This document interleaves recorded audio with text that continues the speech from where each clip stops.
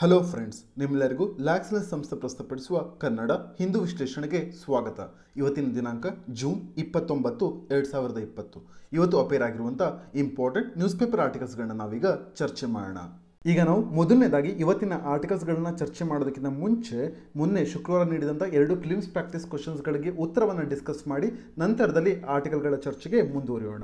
ಈ ಮೊದಲನೇ ಪ್ರಶ್ನೆಯನ್ನು ಗೋಲ್ಡನ್ ಟ್ರಯಾಂಗಲ್ನ ವಿಚಾರವಾಗಿ ಕೇಳಿದ್ದಾರೆ. ಇದು ಇಂಪಾರ್ಟೆಂಟ್ ಟಾಪಿಕ್ ಆಗುತ್ತೆ. ನಮ್ಮ ಪ್ಲಿಮ್ಸ್ ಪಾಯಿಂಟ್ ಆಫ್ ವ್ಯೂನಿಂದ ಗೋಲ್ಡನ್ ಟ್ರಯಾಂಗಲ್ ಯಾವುದಕ್ಕೆ ಅಸೋಸಿಯೇಟೆಡ್ ಆಗಿದೆ ಅನ್ನೋದನ್ನು ನೋಡೋದಾದ್ರೆ ಇದು ವಿಶ್ವದ ಪ್ರಮುಖ ಅಕ್ರಮ ಅಫೀಮು ಉತ್ಪಾದನೆ ಕಂಟ್ರೀಸ್ಗಳಾಗಿದ್ದಾವೆ ಮತ್ತು ಯಾವ ಯಾವ ಕಂಟ್ರೀಸ್ಗಳು ಗೋಲ್ಡನ್ ಟ್ರಯಾಂಗಲ್ನ ರೆಪ್ರೆಸೆಂಟ್ ಮಾಡ್ತವೆ ಅಂತ ಹೇಳಿ ಕೇಳ್ತಾ ಇದ್ದಾರೆ. ಇಲ್ಲಿ ಮೊದಲನೇದಾಗಿ ತಿಳ್ಕೊಂಡಿರಬೇಕು ಗೋಲ್ಡನ್ ಟ್ರಯಾಂಗಲ್ ಅನ್ನುವಂಥದ್ದು ಸೌತ್ ಈಸ್ಟ್ ಏಷ್ಯಾದಲ್ಲಿ ಬರುತ್ತೆ. ಇದು ಮೂರು ಕಂಟ್ರೀಸ್ಗಳನ್ನು ಒಳಗೊಂಡಿದೆ. ಯಾವುದ್ಯಾವುದು ಅಂತ ಹೇಳಿದ್ರೆ ಲಾವೋಸ್ ಥೈಲ್ಯಾಂಡ್ ಮತ್ತು ಮಯನ್ಮಾರ್ ಅದರಿಂದಾಗಿ ಈ ಒಂದು ಪ್ರಶ್ನೆಗೆ ಸರಿಯಾದ ಉತ್ತರ ಏನಾಗುತ್ತೆ ಅಂತ ಹೇಳಿದ್ರೆ one two and three only ಆಗುತ್ತೆ. ಲಾವೋಸ್ ಥೈಲ್ಯಾಂಡ್ ಮತ್ತು ಮಯನ್ಮಾರ್ ಈ ಪಾಯಿಂಟ್ಗಳನ್ನ ನೀವು ನೆನ್ಪಿಟ್ಕೊಂಡಿರಬೇಕು. ಮತ್ತು ಪ್ರಪಂಚದಲ್ಲಿ ವಿಶ್ವದ ಅಂದರೆ ವಿಶ್ವದ ಪ್ರಮುಖ ಅಕ್ರಮ ಅಫೀಮು ಉತ್ಪಾದನೆಯಲ್ಲಿ ಇನ್ವಾಲ್ವ್ ಆಗಿರುವಂಥದ್ದು ಮೊದಲನೇದಾಗಿ ಗೋಲ್ಡನ್ ಕ್ರೆಸೆಂಟ್ ಕಂಟ್ರೀಸ್ಗಳು ನಂತರದಲ್ಲಿ ಬರುವಂಥದ್ದು ಗೋಲ್ಡನ್ ಟ್ರಯಾಂಗಲ್ ಕಂಟ್ರೀಸ್ಗಳು ಮೊದಲನೇದಾಗಿ ಗೋಲ್ಡನ್ ಕ್ರೆಸೆಂಟ್ನ ಬಗ್ಗೆ ಹೇಳೋದಾದರೆ ಅದರಲ್ಲೂ ಕೂಡ ಮೂರು ಕಂಟ್ರೀಸ್ಗಳು ಬರ್ತವೆ.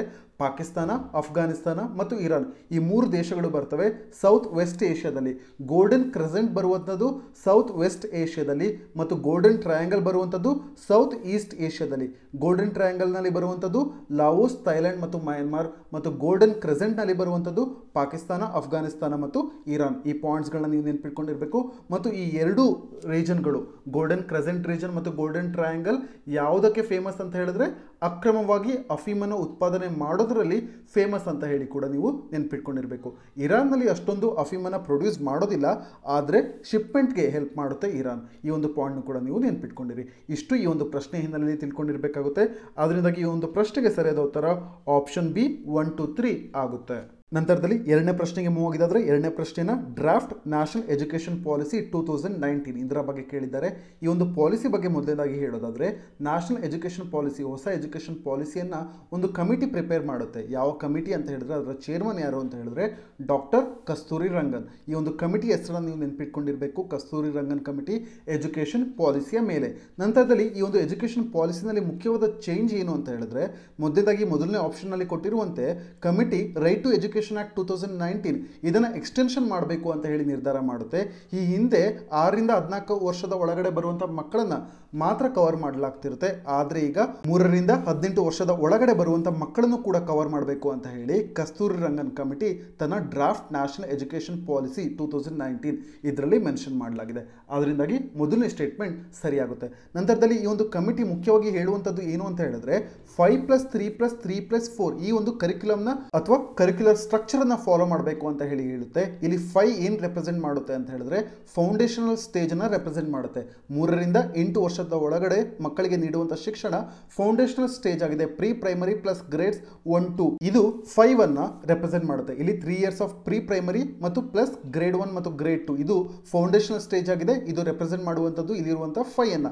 ನಂತರದಲ್ಲಿ ತ್ರೀ ಪ್ರಿಪ್ರೇಟರಿ ಸ್ಟೇಜನ್ನು ರೆಪ್ರೆಸೆಂಟ್ ಮಾಡುತ್ತೆ. ಅಂದರೆ ಏಯ್ಟ್ ಟು ಲೆವೆನ್ ಇಯರ್ಸ್ ಒಳಗಡೆ ಬರುವಂಥ ಗ್ರೇಡ್ ತ್ರೀ ಟು ಫೈವ್ ಅನ್ನ ಕವರ್ ಮಾಡುತ್ತೆ. ನಂತರದಲ್ಲಿ ಬರುವಂಥದ್ದು ಮಿಡಲ್ ಸ್ಟೇಜ್ ಇದು ಅಗೇನ್ ಮೂರು ವರ್ಷ, ಹನ್ನೊಂದರಿಂದ ಹದಿನಾಲ್ಕು ವರ್ಷದ ಮಕ್ಕಳನ್ನ ಕವರ್ ಮಾಡುತ್ತೆ. ಗ್ರೇಡ್ ಸಿಕ್ಸ್ ಟು ಏಯ್ಟ್ ಇದನ್ನ ರೆಪ್ರೆಸೆಂಟ್ ಮಾಡುತ್ತೆ. ನಂತರದಲ್ಲಿ ಬರುವಂಥದ್ದು ಸೆಕೆಂಡರಿ ಸ್ಟೇಜ್ ಇದರಲ್ಲಿ ಗ್ರೇಡ್ಸ್ ನೈನ್ ಟು ಟ್ವೆಲ್ ಅನ್ನ ರೆಪ್ರೆಸೆಂಟ್ ಮಾಡಲಾಗುತ್ತೆ ಮತ್ತು ಹದಿನಾಲ್ಕರಿಂದ ಹದಿನೆಂಟು ವರ್ಷದ ಒಳಗಡೆ ಇರುವಂತಹ ಮಕ್ಕಳಿಗೆ ಕೊಡುವಂತಹ ಶಿಕ್ಷಣ ರೆಪ್ರೆಸೆಂಟ್ ಮಾಡುತ್ತೆ. ಈ ಒಂದು ಪಾಯಿಂಟ್ ತುಂಬಾ ಇಂಪಾರ್ಟೆಂಟ್ ಆಗುತ್ತೆ. Five plus three plus three plus four curricular ಏನನ್ನ ರೆಪ್ರೆಸೆಂಟ್ ಮಾಡುತ್ತೆ ಅಂತ ಹೇಳಿ ನೀವು ನೆನ್ಪಿಟ್ಕೊಂಡಿರ್ಬೇಕಾಗುತ್ತೆ. ಈ ಒಂದು ಎಜುಕೇಶನ್ ಪಾಲಿಸಿಯ ಹಿನ್ನೆಲೆಯಲ್ಲಿ. ನಂತರದಲ್ಲಿ ಎರಡನೇ ಸ್ಟೇಟ್ಮೆಂಟ್ಗೆ ಮೂವ್ ಆಗಿದೆ ಅಂದ್ರೆ ಇಲ್ಲಿ ಹೇಳ್ತಾ ಇದ್ದಾರೆ ಆನ್ಲೈನ್ ಎಜುಕೇಷನನ್ನು ಫೇಸ್ಡ್ ಮ್ಯಾನರಲ್ಲಿ ಅಡಾಪ್ಟ್ ಮಾಡ್ಕೊಳ್ಳಾಗುತ್ತೆ ಅದು ಪೈಲಟ್ ಪ್ರಾಜೆಕ್ಟ್ಸ್ಗಳ ಮುಖಾಂತರವಾಗಿ ಅಂತ ಹೇಳಿ ಹೇಳ್ತಾ ಇದ್ದಾರೆ. ಆದರೆ draft national education policy online learning ಮೇಲೆ ಫೋಕಸ್ ಅನ್ನು ನೀಡುತ್ತೆ. ಇದರ ಮುಖಾಂತರವಾಗಿ ರೆಗ್ಯುಲರ್ ಕ್ಲಾಸ್ ರೂಮ್ ಇಂಟ್ರಾಕ್ಷನ್ ಏನಿದೆ ಟೀಚರ್ಸ್ ಮತ್ತು ಸ್ಟೂಡೆಂಟ್ಸ್ಗಳ ನಡುವೆ, ಇದಕ್ಕೆ ಆಲ್ಟರ್ನೇಟಿವ್ ಆಗಿ ಆನ್ಲೈನ್ ಲರ್ನಿಂಗ್ ಅನ್ನು ಇನ್ಕ್ಲೂಡ್ ಮಾಡಬೇಕು ಅಂತ ಹೇಳಿ ಈ ಒಂದು draft national education policy suggest ಮಾಡುತ್ತೆ. ನಂತರದಲ್ಲಿ ಈ ರೀತಿಯಲ್ಲಿ ಆನ್ಲೈನ್ ಲರ್ನಿಂಗ್ ಅನ್ನು ಪ್ರಮೋಟ್ ಮಾಡೋದ್ರಿಂದ ಎರಡು ಆಬ್ಜೆಕ್ಟಿವ್ಸ್ ಗಳನ್ನ ಟ್ವಿನ್ ಆಬ್ಜೆಕ್ಟಿವ್ಸ್ ಗಳನ್ನ ಅಚೀವ್ ಮಾಡ್ದಂಗೆ ಆಗುತ್ತೆ. ಮೊದಲೇದಾಗಿ ಕಾಸ್ಟ್ ಕಟ್ಟಿಂಗ್ ಆಗಿರ್ಬೋದು, ನಂತರದಲ್ಲಿ ಎನ್ರೋಲ್ಮೆಂಟ್ ವಿಷಯದಲ್ಲಿ ಇನ್ಕ್ರಿಮೆಂಟ್ನ ಕಾಣ್ಬೋದು. ಈ ಎರಡು ಪಾಯಿಂಟ್ ಗಳನ್ನ ಕೂಡ ನೀವು ನೆನ್ಪಿಟ್ಕೊಂಡಿರಿ. ಅದರಿಂದಾಗಿ ಇಲ್ಲಿ ನೀಡಿರುವಂಥ ಎರಡು ಸ್ಟೇಟ್ಮೆಂಟ್ಗಳಲ್ಲಿ ಮೊದಲನೇ ಸ್ಟೇಟ್ಮೆಂಟ್ ಸರಿ, ಎರಡನೇ ಸ್ಟೇಟ್ಮೆಂಟ್ ತಪ್ಪು. ಅದರಿಂದಾಗಿ ಈ ಒಂದು ಪ್ರಶ್ನೆಗೆ ಸರಿಯಾದ ಸ್ಟೇಟ್ಮೆಂಟ್ ಅನ್ನ ಕೇಳಿರೋದ್ರಿಂದ ಆಪ್ಷನ್ ಎ ಒನ್ ಓನ್ಲಿ ಸರಿಯಾಗುತ್ತೆ. ಈಗ ನಾವು ಮೊದಲನೇ ಆರ್ಟಿಕಲ್ಗೆ ಹೋಗಿದ್ರೆ ಈ ಒಂದು ನ್ಯೂಸ್ ಪೇಪರ್ ಆರ್ಟಿಕಲ್ನಲ್ಲಿ ಡ್ರ್ಯಾಗನ್ ಫ್ಲೈಸ್ಗಳ ಬಗ್ಗೆ ಚರ್ಚೆ ಮಾಡ್ತಿದ್ದಾರೆ ಈ ಒಂದು ನ್ಯೂಸ್ ಪೇಪರ್ ಆರ್ಟಿಕಲ್ ಬೆಂಗಳೂರು ಎಡಿಷನ್ನಲ್ಲಿ ಪೇಜ್ ನಂಬರ್ ಹದಿನಾಲ್ಕರಲ್ಲಿ ಅಪೇರ್ ಆಗಿದೆ. ಈ ಒಂದು ಆರ್ಟಿಕಲ್ನಲ್ಲಿ ಏನು ಚರ್ಚೆ ಮಾಡ್ತಾ ಇದ್ದಾರೆ ಅಂತ ಹೇಳಿದ್ರೆ, ಒಂದು ಅಪರೂಪವಾದಂಥ ಒಂದು ಜೈವಿಕ ವಿದ್ಯಮಾನ ಅಂತ ಹೇಳಿದ್ರೆ ಒಂದು ರೇರ್ ಆಗಿರುವಂಥ ಬಯಾಲಜಿಕಲ್ ಫೆನಾಮಿನ ಡ್ರ್ಯಾಗನ್ ಫ್ಲೈಸ್ಗಳಲ್ಲಿ ಚಿಟ್ಟೆಗಳಲ್ಲಿ ಕಂಡು ಬಂದಿದೆ ಅಂತ ಹೇಳಿ ಇಲ್ಲಿ ಡಿಸ್ಕಸ್ ಮಾಡ್ತಾ ಇದ್ದಾರೆ. ಆ ಒಂದು ರೇರ್ ಫೆನಾಮಿನನ್ ಯಾವುದು ಅಂತ ಹೇಳಿದ್ರೆ ಜಿನಾಂಡ್ರೋ ಮಾಫಿಸಮ್ ಅಂತ ಹೇಳಿ ಇದರ ಬಗ್ಗೆ ನಾವೀಗ ಚರ್ಚೆ ಮಾಡೋಣ. ಈ ಒಂದು ಆರ್ಟಿಕಲ್ ನೀವು ಜಿ ಎಸ್ ತ್ರೀ ಕಡೆ ಬರುವಂಥ topic conservation environmental pollution and degradation environmental impact assessment ಈ ಒಂದು ಟಾಪಿಕ್ನ ಕಡೆ ನೀವು ನೋಟ್ಸ್ನ ಮಾಡ್ಕೊಬಹುದು ಈಗ ನಾವು ನ್ಯೂಸ್ ಪೇಪರ್ ಆರ್ಟಿಕಲ್ಗೆ ಮೂವ್ ಆಗಿದ್ದಾದ್ರೆ ಈ ಒಂದು ನ್ಯೂಸ್ ಪೇಪರ್ ಆರ್ಟಿಕಲ್ ಅಲ್ಲಿ ಒಂದು ಸ್ಪೀಶೀಸ್ನ ಬಗ್ಗೆ ಚರ್ಚೆ ಮಾಡ್ತಿದ್ದಾರೆ. ಆ ಸ್ಪೀಶೀಸ್ ಹೆಸರು ಏನು ಅಂತ ಹೇಳಿದ್ರೆ ಸ್ಕಾರ್ಲೆಟ್ ಸ್ಕಿಮ್ಮರ್ ಅಂತ ಹೇಳಿ. ಇದು ಕನ್ನಡದಲ್ಲಿ ಚಿಟ್ಟೆ ಡ್ರ್ಯಾಗನ್ ಫ್ಲೈಸ್ಗಳ ಗುಂಪಿಗೆ ಸೇರಿದಂತದ್ದು ಇದರ ಬಗ್ಗೆ ತ್ರಿಶೂರ್ನಲ್ಲಿ ಅಂದ್ರೆ ಕೇರಳದಲ್ಲಿ ಇರುವಂತಹ ತ್ರಿಶೂರ್ನಲ್ಲಿ ಇರುವಂತಹ ಕೋಲೆ ವೆಟ್ಲ್ಯಾಂಡ್ಸ್ಗಳಲ್ಲಿ ಈ ಸ್ಕಾರ್ಲೆಟ್ ಸ್ಕಿಮ್ಮರ್ಗಳ ಬಗ್ಗೆ ಸ್ಟಡಿ ಮಾಡ್ತಿರುವಂತಹ ಸಂದರ್ಭದಲ್ಲಿ ಒಂದು ಅಪರೂಪದ ಜೈವಿಕ ವಿದ್ಯಮಾನ ಕಂಡು ಬಂದಿದೆ ಅಂದ್ರೆ ಒಂದು ಬಯಾಲಜಿಕಲ್ ಫೆನಾಮಿನನ್ ಕಂಡು ಬಂದಿದೆ ಅದು ಏನು ಅಂತ ಹೇಳಿದ್ರೆ ನೀವು ಈ ಚಿತ್ರದಲ್ಲಿ ಗಮನಿಸಬಹುದು, ಗಂಡು ಡ್ರ್ಯಾಗನ್ ಫ್ಲೈಸ್ಗಳಲ್ಲಿ ಪುರುಷ ಡ್ರ್ಯಾಗನ್ ಫ್ಲೈಸ್ಗಳಲ್ಲಿ ಏನಾಗಿರುತ್ತೆ ಅಂತ ಹೇಳಿದ್ರೆ ಸಾಮಾನ್ಯವಾಗಿ ತಲೆ, ಎದೆಗೂಡು, ಹೊಟ್ಟೆ ಮತ್ತು ಕಾಲುಗಳು ಒಳಗೊಂಡಂತೆ ಇಡೀ ದೇಹದ ಭಾಗ ಎಲ್ಲವೂ ಕೂಡ ರಕ್ತ ಕೆಂಪು ಬಣ್ಣವನ್ನು ಹೊಂದಿರುತ್ತೆ. ಆದರೆ ಹೆಣ್ಣುಗಳಲ್ಲಿ ಹಳದಿ ಬಣ್ಣದಲ್ಲಿ ಇರುತ್ತೆ ಈ ಎಲ್ಲ ಬಾಡಿ ಪಾರ್ಟ್ಸ್ಗಳು ಆದರೆ ಈಗ ಹೊಸದಾಗಿ ಕಂಡು ಬಂದಿರುವಂಥ ಫೆನಾಮಿನನ್ ಏನು ಅಂತ ಹೇಳಿದ್ರೆ ಒಂದು ಚಿಟ್ಟೆಯಲ್ಲಿ ಅರ್ಧ ಕೆಂಪು ಮತ್ತು ಅರ್ಧ ಹಳದಿ ಬಣ್ಣ ಉಳ್ಳಂಥ ಒಂದು ಡ್ರ್ಯಾಗನ್ ಫ್ಲೈಸ್ ಸ್ಟಡಿಗೆ ಸಿಕ್ಕಿದೆ. ಇದರ ವಿಷಯವಾಗಿ ಇಲ್ಲಿ ಹೇಳ್ತಾ ಇದ್ದಾರೆ. ಇದೊಂದು ಅಪರೂಪದ ಜೈವಿಕ ವಿದ್ಯಮಾನವಾಗಿದೆ. ಈ ಸ್ಕ್ಯಾಲೆಟ್ ಸ್ಕಿಮ್ಮರ್ಗಳಲ್ಲಿ ಈ ಒಂದು ಸ್ಪೀಶೀಸ್ನಲ್ಲಿ ಅಂತ ಹೇಳಿ ಹೇಳ್ತಿದ್ದಾರೆ. ಏಕೆಂದರೆ ಈಗ ಸ್ಕ್ಯಾಲೆಟ್ ಸ್ಕಿಮ್ಮರ್ಗಳಲ್ಲಿ ಅರ್ಧ ಹೆಣ್ಣು ಅಂಗಾಂಶಗಳನ್ನು ಹೊಂದಿರುವಂಥ ಮತ್ತು ಇನ್ನೂ ಅರ್ಧ ಗಂಡು ಅಂಗಾಂಶಗಳನ್ನು ಹೊಂದಿರುವಂಥ ಚಿಟ್ಟೆಗಳು ಕಂಡು ಬಂದಿದ್ದಾವೆ. ಈ ಒಂದು ಫೆನಾಮಿನನ್ನು ಏನಂತ ಕರೀತಾರೆ ಅಂತ ಹೇಳಿದ್ರೆ ಜಿನಾಂಡ್ರೋ ಮಾಫ್ಸ್ ಅಂತ ಹೇಳಿ ಕರೀತಾರೆ. ಈ ಒಂದು ಪಾಯಿಂಟ್ ತುಂಬಾ ಇಂಪಾರ್ಟೆಂಟ್ ಆಗುತ್ತೆ. ಜಿನಾಂಡ್ರೋ ಮಾಫ್ಸ್ ಅನ್ನುವಂಥದ್ದು ಒಂದು ಜೆನೆಟಿಕ್ ಅಬೆರೇಷನ್ ಅಂದ್ರೆ ಅನುವಂಶಿಕ ವಿರೂಪವಾಗಿದೆ. ಈ ಜಿನಾಂಡ್ರೋ ಮಾಫ್ಸ್ಗಳಲ್ಲಿ ಕಂಡು ಬರುವಂತಹ ಒಂದು ವಿಶೇಷ ಅಂಶ ಏನು ಅಂತ ಹೇಳಿದ್ರೆ, ಈ ಸ್ಪೀಶೀಸ್ಗಳಲ್ಲಿ ಜಿನಾಂಡ್ರೋ ಮಾಫ್ಸ್ಗಳಲ್ಲಿ ಎರಡು ಅಂದ್ರೆ ಗಂಡು ಮತ್ತು ಹೆಣ್ಣು ಅಂಗಾಂಶಗಳನ್ನು ಹೊಂದಿರುವಂಥ ಒಂದು ಸ್ಪೀಶೀಸ್ ಆಗಿದೆ. ಇದು ವೈಜ್ಞಾನಿಕ ಸಮುದಾಯದಲ್ಲಿ ಅನುವಂಶಿಕ ವಿರೂಪ ಅಂತ ಹೇಳಿ ಕರೆಸ್ಕೊಡುತ್ತೆ. ಅನುವಂಶಿಕ ವಿರೂಪಕ್ಕೆ ಇಂಗ್ಲಿಷ್ನಲ್ಲಿ ಜೆನೆಟಿಕ್ ಅಬೆರೇಷನ್ ಅಂತ ಹೇಳಿ ಕರೀತಾರೆ. ನೀವು ಈ ಪಿಕ್ಚರ್ಸ್ಗಳಲ್ಲಿ ಗಮನಿಸಬಹುದು ಜಿನಾಂಡ್ರೋ ಮಾಫ್ ಅನ್ನುವಂಥದ್ದು ಬೇರೆ ಸ್ಪೀಶೀಸ್ಗಳಲ್ಲೂ ಕೂಡ ಕಂಡು ಬರುತ್ತೆ. ಇಲ್ಲಿ ನಿಮಗೆ ಚೆನ್ನಾಗಿ ಅರ್ಥವಾಗಿರಬೇಕು ಈ ಒಂದು ಫೆನಾಮಿನಲ್ ಜಿನಾಂಡ್ರೋ ಮಾಫ್ಸ್ ಅಂತ ಹೇಳಿದ್ರೆ ಗಂಡು ಮತ್ತು ಹೆಣ್ಣು. ಈ ಎರಡೂ ಜೆಂಡರ್ಗಳ ಅಂಗಾಂಶಗಳನ್ನು ಹೊಂದಿರುವಂಥ ಏಕೈಕ ಸ್ಪೀಶೀಸ್ನಲ್ಲಿ ಈ ಎರಡು ಅಂಗಾಂಶಗಳು ಕಂಡು ಬಂದಂಥ ಸಂದರ್ಭದಲ್ಲಿ ಈ ಒಂದು ಬಯಾಲಜಿಕಲ್ ಫೆನಾಮಿನನ್ನು ಅನ್ನ ಜಿನಾಂಡ್ರೋ ಮಾಫ್ ಅಂತ ಹೇಳಿ ಕರಿತೀವಿ. ಈಗ ಆರ್ಥ್ರೋಪೋಡಸ್ಗಳಲ್ಲಿ ಈ ಒಂದು ಫೆನಾಮಿನನ್ ಕಂಡು ಬರುತ್ತೆ. ಆದರೆ ಆರ್ಥೋಪೋಡರ ಕೆಳಗಡೆ ಬರುವಂಥ ಒಡೋನೇಟ್ಸ್ ಅಂತ ಹೇಳಿ ಕರಿತೀವಿ. ಒಡೋನೇಟ್ಸ್ ಅಂತ ಹೇಳಿದ್ರೆ ಹಾರಾಡುವ ಕೀಟ, ಇದೊಂದು ಪ್ರಾಣಿ ವರ್ಗ. ಈ ಒಡೋನೇಟ್ಸ್ಗಳಲ್ಲಿ ಕೇವಲ ಮೂವತ್ತು ಇಂಡಿವಿಜುವಲ್ಸ್ಗಳಲ್ಲಿ ಮಾತ್ರ ಜಿನಡ್ರೋಮಾಫ್ ಅನ್ನುವಂಥ ಒಂದು ಬಯಾಲಜಿಕಲ್ ಫೆನಾಮಿನನ್ ಕಾಣೋದಕ್ಕೆ ಸಿಗುತ್ತೆ. ಈ ಮೂವತ್ತು ಇಂಡಿವಿಜುವಲ್ಸ್ಗಳಲ್ಲಿ ಈಗ ಈ ಒಂದು ಸ್ಪೀಶೀಸ್ ಈ ಸ್ಪೀಶೀಸ್ ಹೆಸರೇನು? ಸ್ಕ್ಯಾಲೆಟ್ ಸ್ಕಿಮ್ಮರ್ ಅಂತ ಹೇಳಿ. ಈ ಒಂದು ಸ್ಪೀಶೀಸ್ನಲ್ಲೂ ಕೂಡ ಜಿನಡ್ರೋಮಾಫಿಸಮ್ ಕಂಡು ಬರ್ತದೆ ಅಂತ ಹೇಳಿ ಈ ಒಂದು ಆರ್ಟಿಕಲ್ನಲ್ಲಿ ಮೆನ್ಷನ್ ಮಾಡಿದ್ದಾರೆ. ಈ ಒಂದು ಪಾಯಿಂಟ್ ನೀವು ನೆನ್ಪಿಟ್ಕೊಂಡಿರಿ.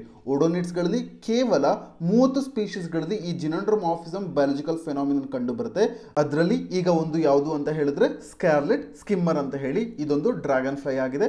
ಇದರ ಬಗ್ಗೆ ನೀವು ತಿಳ್ಕೊಂಡಿರಬೇಕಾಗುತ್ತೆ. ನಂತರದಲ್ಲಿ ಇದೇ ನ್ಯೂಸ್ ಪೇಪರ್ ಆರ್ಟಿಕಲ್ನಲ್ಲಿ ಮುಂದುವರೆದು ಹೇಳ್ತಾರೆ, ಏನು ಈಗ ಒಂದು ಸ್ಟಡಿ ಮಾಡ್ತಾ ಇದ್ದಾರೆ ಕೋಲೆ ವೆಟ್ಲ್ಯಾಂಡ್ಸ್ಗಳಲ್ಲಿ, ಈ ಸ್ಟಡಿನ ಕಂಡಕ್ಟ್ ಮಾಡ್ತಿರೋದು ಯಾರು ಅಂತ ಹೇಳಿದ್ರೆ the society for odonate studies ಅಂತ ಹೇಳಿ. ಇವರು ಕಂಡಕ್ಟ್ ಮಾಡ್ತಿರೋರು ಏನು ಸಜೆಷನ್ ಕೊಡ್ತಾರೆ ಅಂತ ಹೇಳಿದ್ರೆ, ಹಲವಾರು ಇನ್ವೆಸ್ಟಿಗೇಷನ್ಸ್ಗಳು ನಡಿಬೇಕಾಗಿದೆ. ಎನ್ವಿರಾನ್ಮೆಂಟಲ್ ಫ್ಯಾಕ್ಟರ್ಸ್ಗಳು ಈ ಒಂದು ಫೆನಾಮಿನನ್ಗೆ ಯಾವ ರೀತಿ ಇಂಪ್ಯಾಕ್ಟ್ ಮಾಡುತ್ತೆ ಅಂತ ಹೇಳಿ. ಅಂದ್ರೆ ಈ ಒಂದು ಅಪರೂಪವಾದಂಥ ಜೈವಿಕ ವಿದ್ಯಮಾನಕ್ಕೆ ಯಾವ ರೀತಿ ಪರಿಸರ ಅಂಶಗಳು ಪ್ರಭಾವ ಬೀರ್ತವೆ ಅನ್ನೋದ್ರ ಬಗ್ಗೆ ಸಂಶೋಧನೆ ನಡಿಬೇಕು ಅಂತ ಹೇಳಿ the society for odonate studies ಇವರು ಈ ಒಂದು ಲೇಖನದಲ್ಲಿ ತಿಳಿಸಿದ್ದಾರೆ, ಇವರ ಒಪಿನಿಯನ್ನ ತಿಳಿಸಿದ್ದಾರೆ. ಇಷ್ಟು ಪಾಯಿಂಟ್ಗಳನ್ನು ನೀವು ನೆನ್ಪಿಟ್ಕೊಂಡಿರ್ಬೇಕು. ಈ ಒಂದು ಆರ್ಟಿಕಲ್ನ ಹಿನ್ನೆಲೆಯಲ್ಲಿ ನೀವು ಚೆನ್ನಾಗಿ ನೆನ್ಪಿಟ್ಕೊಂಡಿರ್ಬೇಕಾದಂಥದ್ದು ಜಿನಂಡ್ರೋ ಮಾಫಿಸಮ್ ಅಂದ್ರೆ ಏನು ಅಂತ ಹೇಳಿ ನೀವು ತಿಳ್ಕೊಂಡಿರಬೇಕು. ಜಿನಂಡ್ರೋ ಮಾಫಿಸಮ್ ಓಡೋನೇಟ್ಸ್ಗಳಲ್ಲಿ ಅಂದ್ರೆ ಮೂವತ್ತು ಸ್ಪೀಷೀಸ್ಗಳಲ್ಲಿ ಕಂಡುಬರುತ್ತೆ. ಅದರಲ್ಲಿ ಈಗ ಸ್ಕೇಲೆಟ್ ಸ್ಕಿಮ್ಮರ್ನಲ್ಲೂ ಕೂಡ ಕಂಡು ಬರುತ್ತೆ ಅಂತ ಹೇಳಿ ಈ ಒಂದು ಲೇಖನದಲ್ಲಿ ನಮಗೆ ತಿಳಿಸ್ಕೊಡ್ತಾ ಇದ್ದಾರೆ. ಇಷ್ಟು ಪಾಯಿಂಟ್ಗಳನ್ನ ನೀವು ಒಂದು ಕಡೆ ನೋಟ್ಸ್ ಮಾಡಿಕೊಂಡಿರಿ.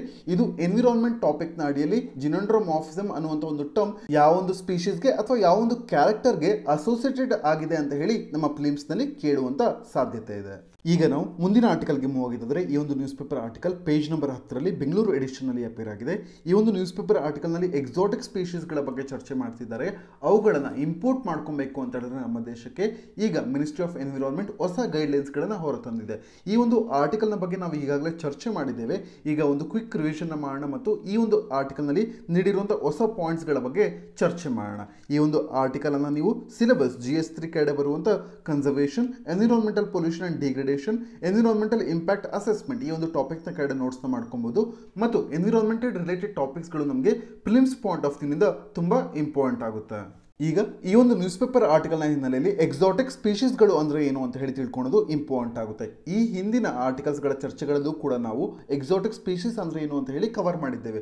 ನೀವು ಇಪ್ಪತ್ನಾಲ್ಕು ಅಥವಾ ಇಪ್ಪತ್ತೈದನೇ ತಾರೀಕಿನ ಇಂದು ಎಡಿಷನ್ ಡಿಸ್ಕಷನಲ್ಲೂ ಕೂಡ ನೀವು ಇದನ್ನ ನೋಡ್ಬೋದು. ಈ ಒಂದು ಟಾಪಿಕನ್ನು ಸುದೀರ್ಘವಾಗಿ ಚರ್ಚೆ ಮಾಡಿದ್ದೇವೆ. ಈಗ ಕ್ವಿಕ್ ಆಗಿ ರಿವಿಷನ್ನ ಮಾಡೋದಾದರೆ ಎಕ್ಸಾಟಿಕ್ ಸ್ಪೀಷೀಸ್ಗಳನ್ನ ಏಲಿಯನ್ ಸ್ಪೀಷೀಸ್ ಅಂತ ಹೇಳಿ ಕೂಡ ಕರೀತಾರೆ ಅಥವಾ ಇನ್ವೇಸಿವ್ ಸ್ಪೀಷೀಸ್ ಅಂತ ಹೇಳಿ ಕೂಡ ಕರೀತಾರೆ. ಈಗ ಏಲಿಯನ್ ಸ್ಪೀಷೀಸ್ ಅಥವಾ ಇನ್ವೇಸಿವ್ ಸ್ಪೀಷೀಸ್ ಅಂತ ಹೇಳಿ ಏಕೆ ಕರೀತಾರೆ ಅಂತ ಹೇಳಿದ್ರೆ, ಈ ಸ್ಪೀಷೀಸ್ಗಳು ಎಕ್ಸಾಟಿಕ್ ಸ್ಪೀಷೀಸ್ಗಳು ಅವುಗಳ ಸಾಮಾನ್ಯ ವಿತರಣೆಯನ್ನು ಬಿಟ್ಟು ಅಂದರೆ ಅವುಗಳ ನಾರ್ಮಲ್ ಡಿಸ್ಟ್ರಿಬ್ಯೂಷನನ್ನು ಬಿಟ್ಟು ಬೇರೆ ಒಂದು ಪ್ರದೇಶಕ್ಕೆ ಅದನ್ನು ತಂದಂಥ ಸಂದರ್ಭದಲ್ಲಿ ಅಥವಾ ಇಂಟ್ರೊಡ್ಯೂಸ್ ಮಾಡಿದಂಥ ಸಂದರ್ಭದಲ್ಲಿ, ಅದು ಡೆಲಿಬ್ರೇಟ್ಲಿ ಅಥವಾ ಆಕ್ಸಿಡೆಂಟಲಿ ಅಂತ ಹೇಳಿದ್ರೆ ಆಕಸ್ಮಿಕವಾಗಿ ಕೂಡ ಇಂಟ್ರೊಡ್ಯೂಸ್ ಮಾಡಿರ್ಬೋದು. ಅಥವಾ ಉದ್ದೇಶಪೂರ್ವಕವಾಗಿಯೂ ಕೂಡ ಈ ಎಕ್ಸಾಟಿಕ್ ಸ್ಪೀಷೀಸ್ಗಳನ್ನು ಅವುಗಳ ಸ್ಥಳೀಯ ಪ್ರದೇಶವನ್ನು ಬಿಟ್ಟು ಹೊರಗಡೆ ಅಂದರೆ ಔಟ್ಸೈಡ್ ಡಿಸ್ಟ್ರಿಬ್ಯೂಟ್ ಮಾಡಿದಂಥ ಸಂದರ್ಭದಲ್ಲಿ ಈ ಸ್ಪೀಷೀಸ್ಗಳನ್ನು ಏಲಿಯನ್ ಸ್ಪೀಷೀಸ್ ಅಂತ ಹೇಳಿ ಕರೀತಾರೆ. ಅಥವಾ ಇನ್ವೇಸಿವ್ ಸ್ಪೀಷೀಸ್ ಅಂತ ಹೇಳಿ ಕರೀತಾರೆ. ಇಲ್ಲಿ ಇನ್ವೇಸಿವ್ ಸ್ಪೀಷೀಸ್ ಅಂತ ಹೇಳಿ ಏಕೆ ಕರೀತಾರೆ ಅಂತ ಹೇಳಿದ್ರೆ ಆಕ್ರಮಣಕಾರಿ ಆಗ್ತವೆ, ಅವು ಏಕೆ ಆಕ್ರಮಣಕಾರಿ ಆಗ್ತವೆ ಅಂತ ಹೇಳಿದ್ರೆ ಅವುಗಳ ನಾರ್ಮಲ್ ಡಿಸ್ಟ್ರಿಬ್ಯೂಷನ್ ಬಿಟ್ಟು ಹೊರಗಡೆ ಪ್ರದೇಶದಲ್ಲಿ ಅವುಗಳು ಬಂದು ಬದುಕಬೇಕು ಅಂತ ಹೇಳಿದ್ರೆ, ಸ್ಥಳೀಯ ಪ್ರಭೇದಗಳನ್ನು ಮೀರಿ ಅವುಗಳು ಸ್ಪರ್ಧೆ ಮಾಡಬೇಕು ಅಂತ ಹೇಳಿದ್ರೆ ಈ ಸಂದರ್ಭದಲ್ಲಿ ಅವುಗಳು ಆಕ್ರಮಣಕಾರಿ ಆಗ್ತವೆ. ಅದರಿಂದಾಗಿ ಇವುಗಳನ್ನ ಇನ್ವೇಸಿವ್ ಸ್ಪೀಷೀಸ್ ಅಂತ ಹೇಳಿ ಕೂಡ ಕರೀತಾರೆ. ಈ ಒಂದು ಪಾಯಿಂಟ್ ನೀವು ನೆನ್ಪಿಟ್ಕೊಂಡಿರಿ. ಎಕ್ಸಾಟಿಕ್ ಸ್ಪೀಷೀಸ್ ಅಂದರೆ ಏನು ಅನ್ನುವಂಥದ್ದು ತುಂಬ ಇಂಪಾರ್ಟೆಂಟ್ ಆಗುತ್ತೆ. ಮೇನ್ಸ್ಗಳದ್ದು ಕೂಡ ಈ ಪ್ರಶ್ನೆ ವಿಚಾರವಾಗಿ ಉತ್ತರ ಬರಿತಿರುವಂಥ ಸಂದರ್ಭದಲ್ಲಿ ಇಂಟ್ರಡಕ್ಷನಲ್ಲಿ ಎಕ್ಸಾಟಿಕ್ ಸ್ಪೀಷೀಸ್ಗಳ ಡೆಫಿನೇಷನನ್ನು ಬರೆದು ಮುಂದುವರಿಯುವಂಥದ್ದು ತುಂಬ ಇಂಪಾರ್ಟೆಂಟ್ ಆಗುತ್ತೆ. ಈಗ environmental ministry ministry of environment forest and climate change ಈ ಒಂದು ಮಿನಿಸ್ಟ್ರಿ ಈಗ ಅಡ್ವೈಸರಿಯನ್ನು ನೀಡಿದೆ ಗೈಡ್ಲೈನ್ಸ್ಗಳನ್ನು ನೀಡಿದೆ. ಯಾವುದರ ವಿಶ್ವವಾಗಿ ಅಂತ ಹೇಳಿದ್ರೆ ಎಕ್ಸಾಟಿಕ್ ಲೈಫ್ ಸ್ಪೀಷೀಸ್ಗಳನ್ನ ಹೊರದೇಶಗಳಿಂದ ಭಾರತಕ್ಕೆ ಇಂಪೋರ್ಟ್ ಆಮದು ಮಾಡಿಕೊಳ್ಳುವಂಥ ಸಂದರ್ಭದಲ್ಲಿ ಫಾಲೋ ಮಾಡಬೇಕಂತ ರೂಲ್ಸ್ಗಳ ಬಗ್ಗೆ ಈಗ ಅಡ್ವೈಸರಿ ನೋಟಿಸನ್ನು ನೀಡಿದೆ. ಆ ರೂಲ್ಸ್ಗಳು ಏನು ಅಂತ ಹೇಳಿದ್ರೆ ಇಲ್ಲಿ ಎರಡು ಪಾಯಿಂಟ್ ಒಂದು ಚೆನ್ನಾಗಿ ನೆನ್ಪಿಟ್ಕೊಂಡಿರಬೇಕು. ಈ ಎಕ್ಸಾಟಿಕ್ ಲೈಫ್ ಸ್ಪೀಷೀಸ್ಗಳ ಇಂಪೋರ್ಟ್ ವಿಚಾರವಾಗಿ. ಮೊದಲನೇದಾಗಿ ಏನು ಅಂತ ಹೇಳಿದ್ರೆ ಭಾರತಕ್ಕೆ ಹೊಸದಾಗಿ ಯಾವುದಾದ್ರೂ ಒಂದು ಎಕ್ಸಾಟಿಕ್ ಸ್ಪೀಷೀಸ್ಗಳನ್ನು ಇಂಪೋರ್ಟ್ ಮಾಡಿಕೊಳ್ಳುತ್ತಿರುವಂಥ ಸಂದರ್ಭದಲ್ಲಿ ಏನು ಮಾಡಬೇಕಾಗುತ್ತೆ ಅಂತ ಹೇಳಿದ್ರೆ ಯಾರು ಇಂಪೋರ್ಟ್ ಮಾಡ್ಕೊತಾ ಇರ್ತಾರೆ, ಆಮದು ಮಾಡ್ಕೊತಾ ಇರ್ತಾರೆ, ಅವರುಗಳು ನೋ ಅಬ್ಜೆಕ್ಷನ್ ಸರ್ಟಿಫಿಕೇಟ್ ಅನ್ನ ಪಡ್ಕೊಬೇಕು. ನೋ ಅಬ್ಜೆಕ್ಷನ್ ಸರ್ಟಿಫಿಕೇಟ್ ಕೊಡುವವರು ಯಾರು ಅಂತ ಹೇಳಿದ್ರೆ ಚೀಫ್ ವೈಲ್ಡ್ ಲೈಫ್ ವಾರ್ಡನ್ ಅಂತ ಹೇಳಿ ಇರ್ತಾರೆ. ಚೀಫ್ ವೈಲ್ಡ್ ಲೈಫ್ ವಾರ್ಡನ್ಗಳು ಪ್ರತಿಯೊಂದು ಸ್ಟೇಟ್ನಲ್ಲೂ ಯೂನಿಯನ್ ಟೆರಿಟರಿಗಳಲ್ಲೂ ಇರ್ತಾರೆ. ಇವರುಗಳು ನೋ ಅಬ್ಜೆಕ್ಷನ್ ಸರ್ಟಿಫಿಕೇಟನ್ನು ಇಂಪೋರ್ಟರ್ಸ್ಗಳಿಗೆ ಡಿಸ್ಟ್ರಿಬ್ಯೂಟ್ ಮಾಡಲೇಬೇಕು. ಯಾವಾಗ? ಎಕ್ಸಾಟಿಕ್ ಲೈಫ್ ಸ್ಪೀಷೀಸ್ಗಳನ್ನು ಹೊಸದಾಗಿ ಭಾರತಕ್ಕೆ ಇಂಟ್ರೊಡ್ಯೂಸ್ ಮಾಡ್ತಿರುವಂಥ ಸಂದರ್ಭದಲ್ಲಿ. ಆದರೆ, ಈಗ ಇನ್ನೊಂದು ಸಿಚುವೇಶನ್ ನೋಡೋಣ. ಈಗ ಒಂದು ಎಕ್ಸಾಟಿಕ್ ಲೈಫ್ ಸ್ಪೀಷೀಸ್ ಆಲ್ರೆಡಿ ಭಾರತದಲ್ಲಿ ಇದೆ ಅಂತ ಹೇಳಿ ಅನ್ಕೋಣ. ಆ ಒಂದು ಸ್ಪೀಷೀಸನ್ನು ಮತ್ತೆ ಹೊರ ದೇಶದಿಂದ ಇಂಪೋರ್ಟ್ ಮಾಡ್ಕೊಳ್ತಾ ಇದ್ದಾರೆ ಅಂತ ಹೇಳಿ ಅನ್ಕೋಣ. ಆ ಸಂದರ್ಭದಲ್ಲಿ ಏನು ಮಾಡಬೇಕಾಗುತ್ತೆ ಅಂತ ಹೇಳಿದ್ರೆ ಓನರ್ಸ್ಗಳು ಯಾರಿರ್ತಾರೆ ಎಕ್ಸಾಟಿಕ್ ಸ್ಪೀಷೀಸ್ಗಳ ಓನರ್ಸ್ಗಳು ಯಾರಿರ್ತಾರೆ ಅವ್ರುಗಳು ಚೀಫ್ ವೈಲ್ಡ್ ಲೈಫ್ ವಾರ್ಡನ್ಗಳ ಹತ್ರ ರಿಜಿಸ್ಟರ್ ಮಾಡಿಕೊಂಡ್ರೆ ಸಾಕಾಗುತ್ತೆ. ಇಲ್ಲಿ ಮೊದಲನೇದಾಗಿ ಎಕ್ಸಾಟಿಕ್ ಲೈಫ್ ಸ್ಪೀಷೀಸ್ಗಳನ್ನ ಹೊಸದಾಗಿ ಏನಾದರೂ ಇಂಪೋರ್ಟ್ ಮಾಡ್ಕೊತಾ ಇದ್ರೆ, ಅವರುಗಳು ನೋ ಅಬ್ಜೆಕ್ಷನ್ ಸರ್ಟಿಫಿಕೇಟನ್ನು ಪಡ್ಕೊಬೇಕು ಚೀಫ್ ವೈಲ್ಡ್ ಲೈಫ್ ವಾರ್ಡನಿಂದ ಆದರೆ ಈಗಾಗಲೇ ಎಕ್ಸಿಸ್ಟಿಂಗ್ ಸ್ಪೀಷೀಸ್ಗಳನ್ನು ಮತ್ತೆ ಇಂಪೋರ್ಟ್ ಮಾಡಿಕೊಳ್ಳುವಂಥ ಪ್ರಯತ್ನ ಮಾಡ್ತಾ ಇದ್ದರೆ ಆ ಸಂದರ್ಭದಲ್ಲಿ ಓನರ್ಸ್ಗಳು ಯಾರಿರ್ತಾರೆ, ಆ ಎಕ್ಸಾಟಿಕ್ ಸ್ಪೀಷೀಸ್ಗಳ ಓನರ್ಸ್ಗಳು ಚೀಫ್ ವೈಲ್ಡ್ ಲೈಫ್ ವಾರ್ಡನ್ಗಳ ಹತ್ರ ರಿಜಿಸ್ಟರ್ ಮಾಡಿಕೊಂಡ್ರೆ ಸಾಕಾಗುತ್ತೆ. ಇಷ್ಟು ಪಾಯಿಂಟ್ಸ್ಗಳನ್ನ ನೀವು ಈ ಒಂದು ಆರ್ಟಿಕಲ್ ಹಿನ್ನೆಲೆಯಲ್ಲಿ ತಿಳ್ಕೊಂಡಿರಬೇಕಾಗುತ್ತೆ.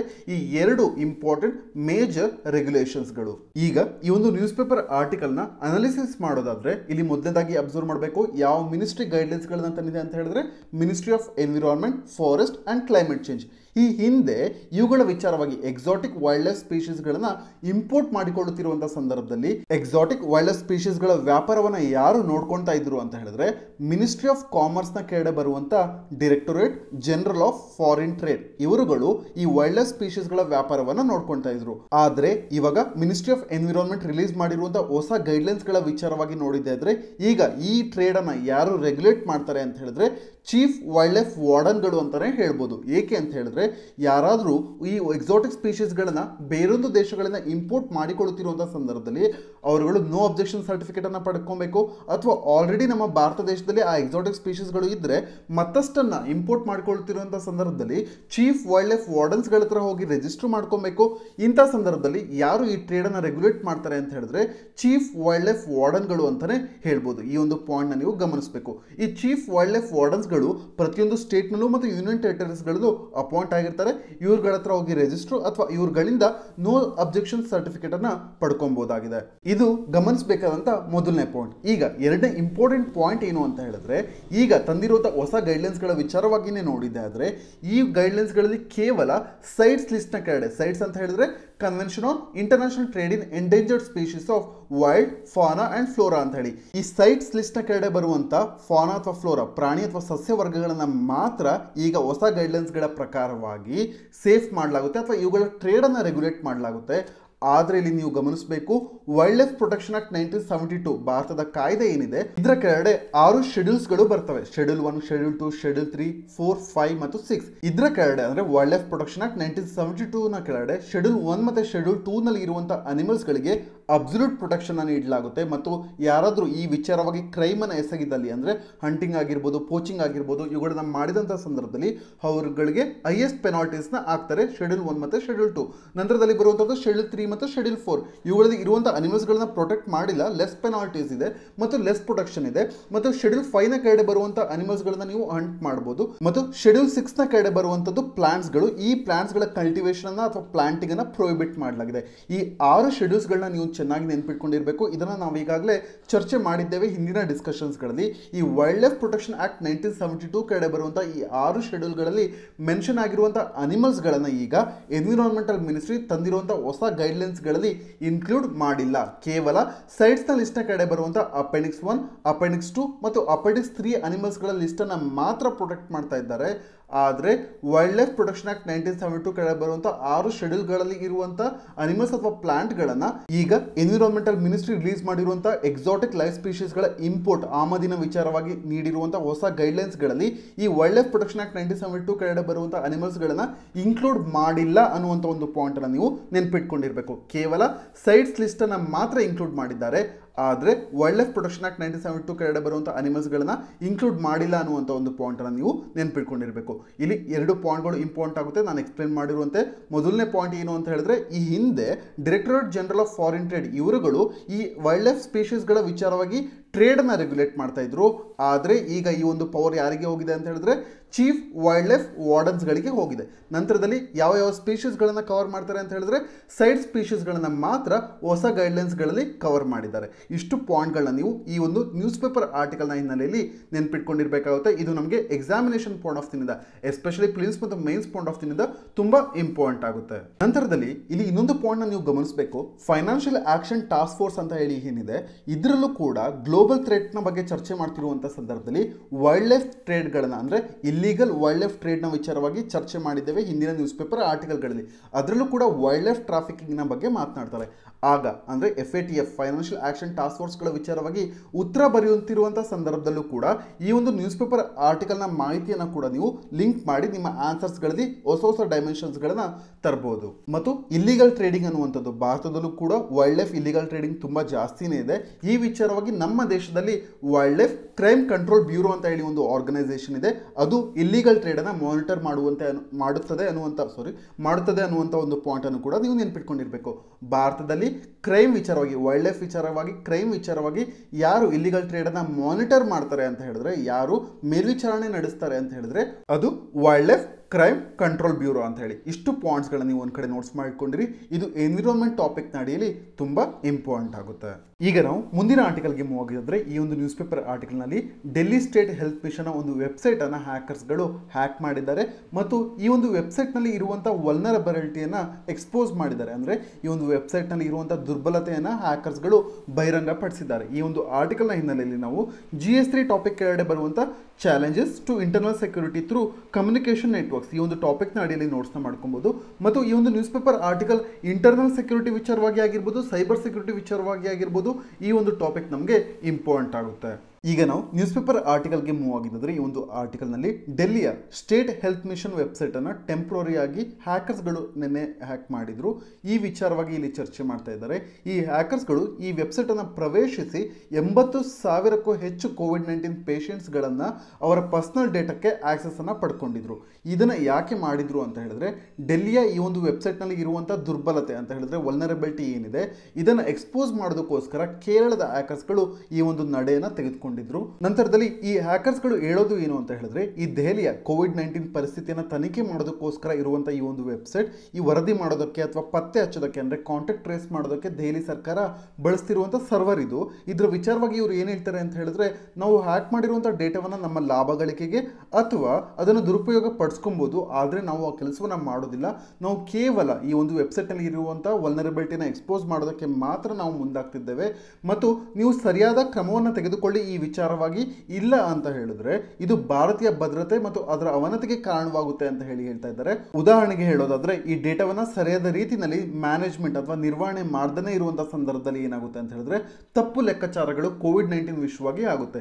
ಏಕೆ ಅಂತ ಹೇಳಿದ್ರೆ ಸರಿಯಾದ ರೀತಿಯಲ್ಲಿ ಕಾಂಟ್ಯಾಕ್ಟ್ ಟ್ರೇಸಿಂಗ್ ಮಾಡೋದ್ರಲ್ಲಿ ಸೋತಂತ ಸಂದರ್ಭದಲ್ಲಿ ಅಂದ್ರೆ ಯಾರಾದರೂ ಕೂಡ ಪರ್ಸನಲ್ ಡೇಟಾವನ್ನು ಒಬ್ಬ ವ್ಯಕ್ತಿ ಅಥವಾ ಒಬ್ಬ ಪೇಷಂಟ್ನ ಆಲ್ಟರ್ ಮಾಡಿದಂಥ ಸಂದರ್ಭದಲ್ಲಿ, ಅದನ್ನು ಚೇಂಜ್ ಮಾಡಿದಂಥ ಸಂದರ್ಭದಲ್ಲಿ ಒಬ್ಬ ರೋಗಿಯ ಕಾಂಟ್ಯಾಕ್ಟ್ ಟ್ರೇಸಿಂಗ್ ಅನ್ನು ಮಾಡೋದ್ರಲ್ಲಿ ಸರ್ಕಾರ ಸೋಲುವಂಥ ಚಾನ್ಸಸ್ಗಳು ಜಾಸ್ತಿ ಇರುತ್ತೆ ಮತ್ತು ಕೋವಿಡ್ ನೈನ್ಟೀನ್ ಅನ್ನ ಪತ್ತೆ ಹಚ್ಚುವಲ್ಲಿ ಸರ್ಕಾರ ತಪ್ಪು ದಾರಿಯನ್ನು ಹಿಡಿಯುತ್ತೆ. ಆದ ಕಾರಣದಿಂದಾಗಿ ಸೈಬರ್ ಸೆಕ್ಯೂರಿಟಿ ವಿಚಾರವಾಗಿ ಇರುವಂತಹ ದುರ್ಬಲತೆಯನ್ನು ಎಕ್ಸ್ಪೋಸ್ ಮಾಡೋದಕ್ಕೋಸ್ಕರ ಕೇರಳ ಹ್ಯಾಕರ್ಸ್ಗಳು ಡೆಲ್ಲಿ ಗೌರ್ಮೆಂಟ್ಗೆ ಈ ಮೂಲಕವಾಗಿ ಒಂದು ವೆಬ್ಸೈಟ್ ಅನ್ನ ಹ್ಯಾಕ್ ಮಾಡೋದ್ರ ಮೂಲಕವಾಗಿ ತಮ್ಮ ಸಂದೇಶವನ್ನ ರವಾನಿಸಿದ್ದಾರೆ.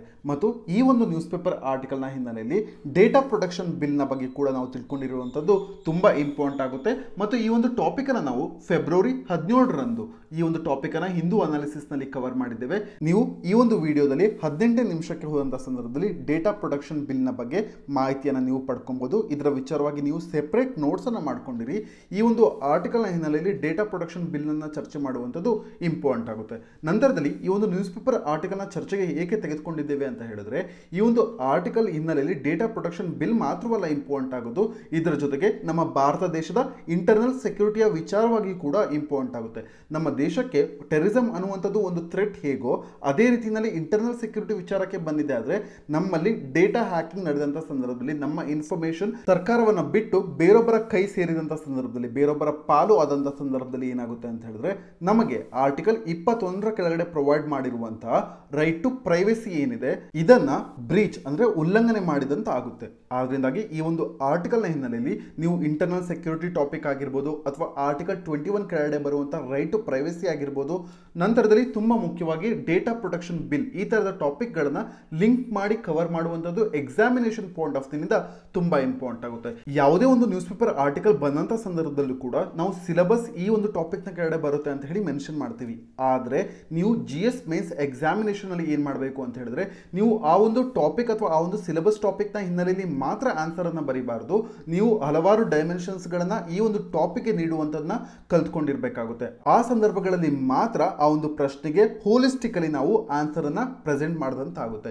ಈ ಹಿನ್ನೆಲೆಯಲ್ಲಿ ಈ ಒಂದು ಟಾಪಿಕ್ ಅನ್ನ ನಾವು ಕವರ್ ಮಾಡಿದ್ದೇವೆ. ಈ ಆರ್ಟಿಕಲ್ನಲ್ಲಿ ನೋಡಿದ್ವಿ, ನಾವು ಸೈಬರ್ ಸೆಕ್ಯೂರಿಟಿಗೆ ಯಾವ ರೀತಿ ಲಿಂಕ್ ಮಾಡಬಹುದು ಇಂಟರ್ನಲ್ ಸೆಕ್ಯೂರಿಟಿಗೆ ಯಾವ ರೀತಿನಲ್ಲಿ ಲಿಂಕ್ ಮಾಡಬಹುದು ನಂತರದಲ್ಲಿ ಡೇಟಾ ಪ್ರೊಟೆಕ್ಷನ್ ಬಿಲ್ ಆಗಿರ್ಬೋದು, ಅಥವಾ ಆರ್ಟಿಕಲ್ ಟ್ವೆಂಟಿ ಒನ್ ಕೆಳಗಡೆ ಬರುವಂಥ ರೈಟ್ ಟು ಪ್ರೈವಸಿ ಆಗಿರ್ಬೋದು, ಈ ರೀತಿ ಹಲವಾರು ಟಾಪಿಕ್ಗಳಿಗೆ ಯಾವ ರೀತಿ ಲಿಂಕ್ ಮಾಡ್ತೀವಿ ಅನ್ನೋದು ತುಂಬಾ ಇಂಪಾರ್ಟೆಂಟ್ ಆಗುತ್ತೆ. ಮತ್ತು ಇದೇ ನ್ಯೂಸ್ ಪೇಪರ್ ಆರ್ಟಿಕಲ್ನಲ್ಲಿ ಮತ್ತೊಂದು ಪಾಯಿಂಟ್ ಮೆನ್ಷನ್ ಮಾಡಿದ್ದಾರೆ. ಏನು ಅಂತ ಹೇಳಿದ್ರೆ ಹ್ಯಾಕರ್ಸ್ಗಳು ಕೇವಲ ಹತ್ತು ನಿಮಿಷದ ಒಳಗಡೆ ಒಂದು ಗೌರ್ಮೆಂಟ್ ವೆಬ್ಸೈಟ್ ಅನ್ನ ಹ್ಯಾಕ್ ಮಾಡಿದ್ದಾರೆ.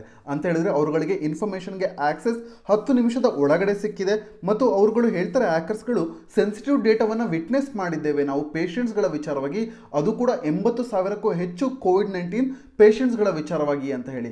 ಅಂದರೆ ಒಂದು ಸೆನ್ಸಿಟಿವ್ ಡೇಟಾ ಗೌರ್ಮೆಂಟ್ ವೆಬ್ಸೈಟಿಂದ ಒಬ್ಬ ಹ್ಯಾಕರ್ನ ಕೈ ತಲುಪುತ್ತೆ ಅಂತ ಹೇಳಿದ್ರೆ, ನಮ್ಮ ದೇಶದಲ್ಲಿ ಒಂದು ಡೇಟಾ ಪ್ರೊಟೆಕ್ಷನ್ ಬಿಲ್ಗೆ ಎಷ್ಟರ ಮಟ್ಟಿಗೆ ಅರ್ಜೆನ್ಸಿ ಇದೆ ಅನ್ನುವಂಥದ್ದು ನಮಗೆ ಈ ಒಂದು ಆರ್ಟಿಕಲ್ನ ಹಿನ್ನೆಲೆಯಲ್ಲೂ ಕೂಡ ತಿಳಿದು ಬರುತ್ತೆ. ನೀವು ಡೇಟಾ ಪ್ರೊಟೆಕ್ಷನ್ ಬಿಲ್ಲನ್ನು ಚರ್ಚೆ ಮಾಡ್ತಿರುವಂಥ ಸಂದರ್ಭದಲ್ಲಿ ಈ ಒಂದು ಕೇಸ್ ಸ್ಟಡಿಯನ್ನು ಇಟ್ಕೊಂಡು ಹ್ಯಾಕರ್ಸ್ಗಳ ಪಾಯಿಂಟ್ಸ್ ಆಗಿರ್ಬೋದು ಮತ್ತು ನಮ್ಮ ಡೆಲ್ಲಿ ಗೌರ್ಮೆಂಟ್ ಏನಿದೆ, ಅದರ Delhi state health mission website ಏನಿದೆ D S H M dot Delhi dot government dot in ಇದನ್ನು ಏನು ಟೆಂಪ್ರರಿ ಹ್ಯಾಕ್ ಮಾಡಿದ್ರು ಹ್ಯಾಕರ್ಸ್ಗಳು ಈ ಒಂದು ಕೇಸ್ ಸ್ಟಡಿನೂ ಕೂಡ ಮೆನ್ಷನ್ ಮಾಡುವಂಥದ್ದು ತುಂಬ ಇಂಪಾರ್ಟೆಂಟ್ ಆಗುತ್ತೆ. ಮತ್ತು ಎಸ್ಸೆಗಳಲ್ಲಿ ಸೈಬರ್ ಸೆಕ್ಯೂರಿಟಿ ವಿಚಾರವಾಗಿ ಮಾತನಾಡ್ತಿರುವಂಥ ಸಂದರ್ಭದಲ್ಲಿ ಈ ಒಂದು ಆರ್ಟಿಕಲ್ನ ಹಿನ್ನೆಲೆಯಲ್ಲಿ ಕೂಡ ನೀವು ಒಂದು ಕೇಸ್ ಸ್ಟಡಿಯನ್ನು ಮೆನ್ಷನ್ ಮಾಡಿದ್ರೆ ಅದು ನಿಮ್ಮ ಎಸ್ಸೆಯನ್ನು ಮತ್ತಷ್ಟು ಎನ್ರಿಚ್ ಮಾಡುತ್ತೆ. ಆದ್ದರಿಂದಾಗಿ ಈ ಒಂದು ಟಾಪಿಕ್ ನಿಮ್ಮ ಗಮನದಲ್ಲಿರಲಿ.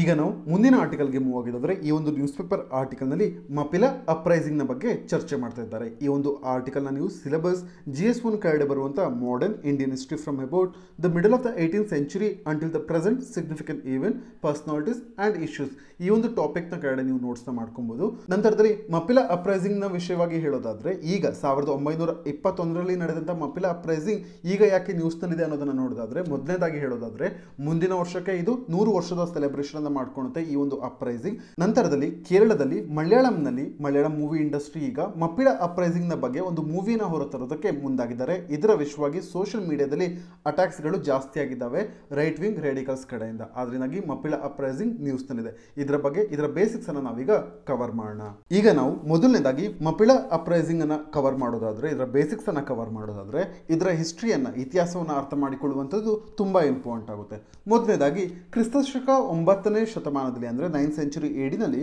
ಮುಸ್ಲಿಮರು ಕೇರಳಕ್ಕೆ ಬರ್ತಾರೆ. ಕೇರಳಕ್ಕೆ ಅರೇಬಿಯನ್ ಸಮುದ್ರದ ಮೂಲಕವಾಗಿ ವ್ಯಾಪಾರಕ್ಕೋಸ್ಕರ ಭಾರತವನ್ನು ಪ್ರವೇಶ ಮಾಡ್ತಾರೆ. ಇದು ಯಾವಾಗ ನಡೆಯುತ್ತೆ ಅಂತ ಹೇಳಿದ್ರೆ, ಮುಸ್ಲಿಮರು ನಮ್ಮ ವೆಸ್ಟ್ ಪಾರ್ಟ್ ಆಫ್ ಇಂಡಿಯಾ ಏನಿದೆ, ಅಂದರೆ ಪಶ್ಚಿಮ ಭಾಗದ ಭಾರತವನ್ನು ಆಕ್ರಮಿಸಿಕೊಳ್ಳುವಂಥ ಮುಂಚೆನೇ ಮುಸ್ಲಿಮರು ಕೇರಳವನ್ನು ಪ್ರವೇಶ ಮಾಡಿರ್ತಾರೆ ಒಂಬತ್ತನೇ ಶತಮಾನದಲ್ಲಿ. ಈ ಒಂದು ಪಾಯಿಂಟ್ ನೀವು ನೆನ್ಪಿಟ್ಕೊಂಡಿರಿ. ನಂತರದಲ್ಲಿ ಏನಾಗುತ್ತೆ ಅಂತ ಹೇಳಿದ್ರೆ, ಮುಸ್ಲಿಮರು ತಮ್ಮ ವ್ಯಾಪಾರವನ್ನು ಕೇರಳದಲ್ಲಿ ಮುಂದುವರಿಸುವುದಕ್ಕೋಸ್ಕರ ಸ್ಥಳೀಯ ಆಡಳಿತಗಾರರಿಂದ ಅನುಮತಿಯನ್ನ ಪಡ್ಕೊಬೇಕಾಗುತ್ತೆ. ಅಂದ್ರೆ ಮುಸ್ಲಿಮರು ಅವರವರ ಟ್ರೇಡ್ ಅನ್ನ ಕ್ಯಾರಿ ಮಾಡ್ಕೊಳ್ಳೋದಕ್ಕೋಸ್ಕರ ನೇಟಿವ್ ರೂಲರ್ಸ್ ಗಳಿಂದ ಪರ್ಮಿಷನ್ನ ಪಡ್ಕೊಬೇಕಾಗುತ್ತೆ. ಈ ಸಂದರ್ಭದಲ್ಲಿ ಏನಾಗುತ್ತೆ ಅಂತ ಹೇಳಿದ್ರೆ, ಅವರು ಅಲ್ಲಲ್ಲೇ ಕೇರಳದಲ್ಲೇ ಸೆಟ್ಲ್ ಆಗೋದಕ್ಕೆ ಸ್ಟಾರ್ಟ್ ಮಾಡ್ಕೊತಾರೆ. ಈ ಸಂದರ್ಭದಲ್ಲಿ ಅಲ್ಲಿನ ಲೋಕಲ್ ವುಮೆನ್ ಅಂತ ಹೇಳಿದ್ರೆ, ಅಲ್ಲಿಯ ಸ್ಥಳೀಯ ಮಹಿಳೆಯರನ್ನ ಮದುವೆ ಆಗೋದಕ್ಕೆ ಪ್ರಾರಂಭ ಮಾಡ್ತಾರೆ. ಮತ್ತು ಅವರ ವಂಶಸ್ಥರನ್ನ ಮಾಪಿಳೈಸ್ ಅಂತ ಹೇಳಿ ಕರೀತಾರೆ, ಅಥವಾ ಮೋಪ್ಲಾಸ್ ಅಂತ ಹೇಳಿ ಕರೀತಾರೆ. ಈ ಒಂದು ಪಾಯಿಂಟ್ ನಿಮಗೆ ಅರ್ಥವಾಗಿರಬೇಕು. ಕ್ರಿಸ್ತಶಕ ಒಂಬತ್ತನೇ ಶತಮಾನದಲ್ಲಿ ಮುಸ್ಲಿಮರು ಕೇರಳಕ್ಕೆ ಅರೇಬಿಯನ್ ಸಮುದ್ರದ ಮೂಲಕವಾಗಿ ವ್ಯಾಪಾರಕ್ಕೋಸ್ಕರ ಬರ್ತಾರೆ. ನಂತರದಲ್ಲಿ ವ್ಯಾಪಾರವನ್ನು ಮುಂದುವರಿಸೋದಕ್ಕೋಸ್ಕರ ಲೋಕಲ್ ಅಲ್ಲಿ ಪರ್ಮಿಷನ್ ಪಡ್ಕೊಳ್ತಾರೆ ಪರ್ಮಿಷನ್ ಪಡ್ಕೊಂಡಾದ ನಂತರ ಅವ್ರುಗಳು ಅಲ್ಲಲ್ಲೇ ಕೇರಳದಲ್ಲೇ ಸೆಟ್ಲ್ ಆಗೋದಕ್ಕೆ ಸ್ಟಾರ್ಟ್ ಮಾಡ್ತಾರೆ. ಅಲ್ಲಿನ ಲೋಕಲ್ ವುಮೆನ್ ಮಹಿಳೆಯರನ್ನ ಮದುವೆ ಆಗೋದಕ್ಕೆ ಸ್ಟಾರ್ಟ್ ಮಾಡ್ಕೊತಾರೆ. ಅವರ ವಂಶಸ್ಥರನ್ನೇ ಮಾಪಿಳೆಸ್ ಅಥವಾ ಮೋಪ್ಲಾಸ್ ಅಂತ ಹೇಳಿ ಕರೀತಾರೆ. ಮೋಪ್ಲಾಸ್ ಅನ್ನುವಂಥದ್ದು ಮಲಯಾಳಂ ವರ್ಡ್ ಆಗಿದೆ. ಇದರ ಅರ್ಥ ಏನು ಅಂತ ಹೇಳಿದ್ರೆ ಸನಿಲ್ಲ ಅಂದ್ರೆ ಅಳಿಯ ಅಂತ ಹೇಳಿ ಅರ್ಥ. ಇಲ್ಲಿ ಗಮನಿಸಬೇಕಾದ ಮತ್ತೊಂದು ಪಾಯಿಂಟ್ ಏನು ಅಂತ ಹೇಳಿದ್ರೆ ಇಲ್ಲಿರುವಂತಹ ಮಾಪಿಳೆಸ್ಗಳು, ಕೇರಳದಲ್ಲಿ ಇರುವಂತಹ ಮಾಪಿಳೆ ಗ್ರೂಪ್ ಏನಿದೆ, ಇವರುಗಳು ಪ್ರತಿಯೊಬ್ಬರು ಕೂಡ ಅರಬ್ಬಿಂದ ಬಂದಂಥವರು ಅಥವಾ ಅರಬ್ಬಿನ ವಂಶಸ್ಥರು ಅಂತ ಹೇಳಿ ಹೇಳೋದಕ್ಕೆ ಆಗೋದಿಲ್ಲ. ಏಕೆ ಅಂತ ಹೇಳಿದ್ರೆ ಟಿಪ್ಪು ಸುಲ್ತಾನ್ ಮಲಬಾರ್ ರೀಜನ್ ಅನ್ನ ಕ್ಯಾಪ್ಚರ್ ಮಾಡ್ಕೊಂಡಿರ್ತಾನೆ ಈ ಸಂದರ್ಭದಲ್ಲಿ ಹಿಂದೂಯಿಂದ ಮುಸ್ಲಿಮಾಗಿ ಹಲವಾರು ಕನ್ವರ್ಷನ್ಗಳು ಕೂಡ ನಡೆದಿರುತ್ತೆ. ಆದ್ರಿಂದಾಗಿ Mappila group purely Arab region ಇಂದ ಬಂದಂಥವ್ರು ಅಂತ ಕೂಡ ಹೇಳೋದಕ್ಕೆ ಸಾಧ್ಯವಿಲ್ಲ. ನಂತರದಲ್ಲಿ ನಾನು ಹೇಳಿದಂತೆ ಟಿಪ್ಪು ಸುಲ್ತಾನ್ ಮಲ್ಬಾರ್ ರೀಜನ್ ಅನ್ನ ಅಕ್ವೈರ್ ಮಾಡ್ಕೊಂಡಿರ್ತಾನೆ. ನಂತರದಲ್ಲಿ ಟ್ರೆಡಿಷನಲ್ ಲ್ಯಾಂಡ್ ಸಿಸ್ಟಮ್ನಲ್ಲಿ ಏನಾಗಿರುತ್ತೆ ಅಂತ ಹೇಳಿದ್ರೆ ಕೇರಳದಲ್ಲಿ ಮುಂಚೆ ಟಿಪ್ಪು ಸುಲ್ತಾನ್ ಆಕ್ರಮಣಕ್ಕಿಂತ ಮುಂಚೆ ಜನ್ಮೀಸ್ಗಳು ಅಂತ ಹೇಳಿ ಇರ್ತಾರೆ. ಜನ್ಮಿ ಅನ್ನುವಂಥ ಒಂದು ವರ್ಡ್ ಅನ್ನು ನೀವು ನೆನ್ಪಿಟ್ಕೊಂಡಿರಿ. ಈ ಟರ್ಮ್ ಯಾರ ವಿಷಯವಾಗಿ ಬರುತ್ತೆ ಅಂತ ಹೇಳಿ. ಜನ್ಮಿ ಅಂತ ಹೇಳಿದ್ರೆ ಮಲ್ಬಾರ್ ರೀಜನಲ್ಲಿ ಇರುವಂಥ ಲ್ಯಾಂಡ್ ಲಾರ್ಡ್ಸ್ಗಳು ಭೂ ಮಾಲೀಕರು ಆಗಿರ್ತಾರೆ. ಇವರುಗಳು ಅಪ್ಪರ್ ಕ್ಯಾಸ್ಟ್ಗೆ ಸೇರಿರ್ತಾರೆ ಹಿಂದೂಯಿಸಮ್ನಲ್ಲಿ ನಂತರದಲ್ಲಿ ಮಾಪಿಳೇಸ್ಗಳು ಏನಿರ್ತಾರೆ, ಈ ಒಂದು ಗುಂಪು, ಇವರುಗಳು ರೈತರಾಗಿ ಈ ಒಂದು ವರ್ಗದ ಕೆಳಗಡೆ ಹಿಂದೂ ಲ್ಯಾಂಡ್ ಲಾರ್ಡ್ಸ್ಗಳ ಕೆಳಗಡೆ ಕೆಲಸವನ್ನು ಮಾಡ್ತಿರ್ತಾರೆ. ನಂತರದಲ್ಲಿ ಏನಾಗುತ್ತೆ ಅಂತ ಹೇಳಿದ್ರೆ, ಸಾವಿರದ ಏಳ್ನೂರ ಅರವತ್ತೈದರ ಸುಮಾರಿನಲ್ಲಿ ಹೈದರಾಲಿ ಮಲ್ಬಾರ್ ಮೇಲೆ ಆಕ್ರಮಣವನ್ನು ಮಾಡ್ತಾನೆ. ಆಗ ಮೋಪ್ಲಾಗಳು ಈ ಒಂದು ಗುಂಪು ಅವರನ್ನ ಅಂದ್ರೆ ಐದರಾಲಿಯನ್ನ ಬೆಂಬಲ ಮಾಡ್ತಾರೆ. ಈ ಸಂದರ್ಭದಲ್ಲಿ ಅನೇಕ ಹಿಂದೂ ಭೂ ಮಾಲೀಕರು ಕಿರುಕುಳವನ್ನು ತಾಳಲಾರದೆ ಬಲವಂತವಾಗಿ ಮತಾಂತರವನ್ನು ಒಪ್ಕೊಂತಾರೆ. ಇದರ ಜೊತೆಗೆ ನೆರೆಹೊರೆಯ ಪ್ರದೇಶಗಳಿಗೆ ಓಡಿ ಹೋಗ್ತಾರೆ ಮಲಬಾರ್ ರೀಜನ್ ಅನ್ನ ಬಿಟ್ಟು. ಈ ಸಂದರ್ಭದಲ್ಲಿ ಮಾಪಿಳೆ ಗುಂಪು ಏನು ಟೆನಾಂಟ್ಸ್ ಆಗಿ ರೈತರಾಗಿ ಕೆಲಸ ಮಾಡ್ತಿರ್ತಾರೆ, ಜನ್ಮಿಗಳ ಕೆಳಗಡೆ ಇವರುಗಳು ಈಗ ಕಲ್ಟಿವೇಶನ್ ರೈಟ್ಸ್ ಅನ್ನ ಪಡ್ಕೊಂತಾರೆ ಅಂತ ಹೇಳಿದ್ರೆ ಕಂಪ್ಲೀಟ್ ಆಗಿ ಭೂಮಿಯ ವಿಷಯವಾಗಿ ಓನರ್ಶಿಪ್ ರೈಟ್ಸ್ ಅನ್ನ ಪಡ್ಕೊಂತಾರೆ. ನಂತರದಲ್ಲಿ ಸಾವಿರದ ಏಳ್ನೂರ ತೊಂಬತ್ತೊಂಬತ್ತರಲ್ಲಿ ಫೋರ್ತ್ ಆಂಗ್ಲೋ ಮೈಸೂರು ವಾರ ನಡೆಯುತ್ತೆ. ಅದರಲ್ಲಿ ಬ್ರಿಟಿಷರು ಗೆಲ್ತಾರೆ, ಟಿಪ್ಪು ಸುಲ್ತಾನ್ ಸಾವನ್ನ ಆಪ್ತಾನೆ. ಈ ಸಂದರ್ಭದಲ್ಲಿ ಏನಾಗುತ್ತೆ ಅಂತ ಹೇಳಿದ್ರೆ ಮಲಬಾರ್ ರೀಜನ್ ಬ್ರಿಟಿಷ್ ಅಥಾರಿಟಿ ಕೆಳಗಡೆ ಬರುತ್ತೆ. ಮಲ್ಬಾರ್ ರೀಜನ್ ಆ್ಯಕ್ಚುಲಿ ಮದ್ರಾಸ್ ಪ್ರೆಸಿಡೆನ್ಸಿಯ ಪಾರ್ಟ್ ಆಗಿರುತ್ತೆ. ಮದ್ರಾಸ್ ಪ್ರೆಸಿಡೆನ್ಸಿ ಕಂಪ್ಲೀಟ್ ಆಗಿ ಬ್ರಿಟಿಷ್ ಅಥಾರಿಟಿಗೆ ಹೋಗುತ್ತೆ ಟಿಪ್ಪು ಸುಲ್ತಾನ್ ಕೈಯಿಂದ. ಆ ಸಂದರ್ಭದಲ್ಲಿ ಮಲ್ಬಾರ್ ರೀಜನ್ ಕೂಡ ಬ್ರಿಟಿಷ್ ಅಥಾರಿಟಿ ಸೇರುತ್ತೆ. ಆಗ ಮತ್ತೊಮ್ಮೆ ಕಂಪ್ಲೀಟ್ ಓನರ್ಶಿಪ್ ರೈಟ್ಸ್ಗಳು ಮಾಪಿಳೆ ಗುಂಪಿನಿಂದ ಜನ್ಮಿಸ್ಗಳ ಕೈಗೆ ಹಸ್ತಾಂತರವಾಗುತ್ತೆ. ಈ ಒಂದು ಪಾಯಿಂಟ್ ನಿಮಗೆ ನೆನಪಿರಬೇಕು. ಯಾವಾಗ ಬ್ರಿಟಿಷ್ ಅಥಾರಿಟಿ ಕೆಳಗಡೆ ಮಲ್ಬಾರ್ ರೀಜನ್ ಕೈ ಸೇರುತ್ತೆ. ನಂತರದಲ್ಲಿ ಏನು ಮಾಡ್ತಾರೆ ಅಂತ ಹೇಳಿದ್ರೆ ಜನ್ಮಿಸ್ಗಳು, ಅವರುಗಳು ಬಾಡಿಗೆಯನ್ನು ಜಾಸ್ತಿ ಮಾಡ್ತಾರೆ ಭೂಮಿ ವಿಶ್ವವಾಗಿ ಮತ್ತು ಅಧಿಕಾರವಾದಿಯ ರೀತಿಯಲ್ಲಿ ಭದ್ರತೆಯ ಕೊರತೆಯನ್ನು ಕೂಡ ರೈತರುಗಳು ಎದುರಿಸ್ತಾರೆ. ಏಕೆ ಅಂತ ಹೇಳಿದ್ರೆ ಹೆಚ್ಚಿನ ಬಾಡಿಗೆ ವಿಷಯವಾಗಿ ರೈತರುಗಳು ಈ ಭೂಮಿಯ ಬಾಡಿಗೆನ ಕಟ್ಟೋದಕ್ಕೆ ಆಗದೇ ತೊಂದರೆನ ಅನುಭವಿಸ್ತಾರೆ. ಇದು ಸಾವಿರದ ಎಂಟುನೂರ ಮೂವತ್ತಾರರಿಂದ ಮಾಪ್ಳೆಗಳಿಗೆ ಮಾಪ್ಳೆಗಳ ವಿಷಯವಾಗಿ ಸರಣಿ ಗಲಭೆಗಳಿಗೆ ಕಾರಣವಾಗುತ್ತೆ.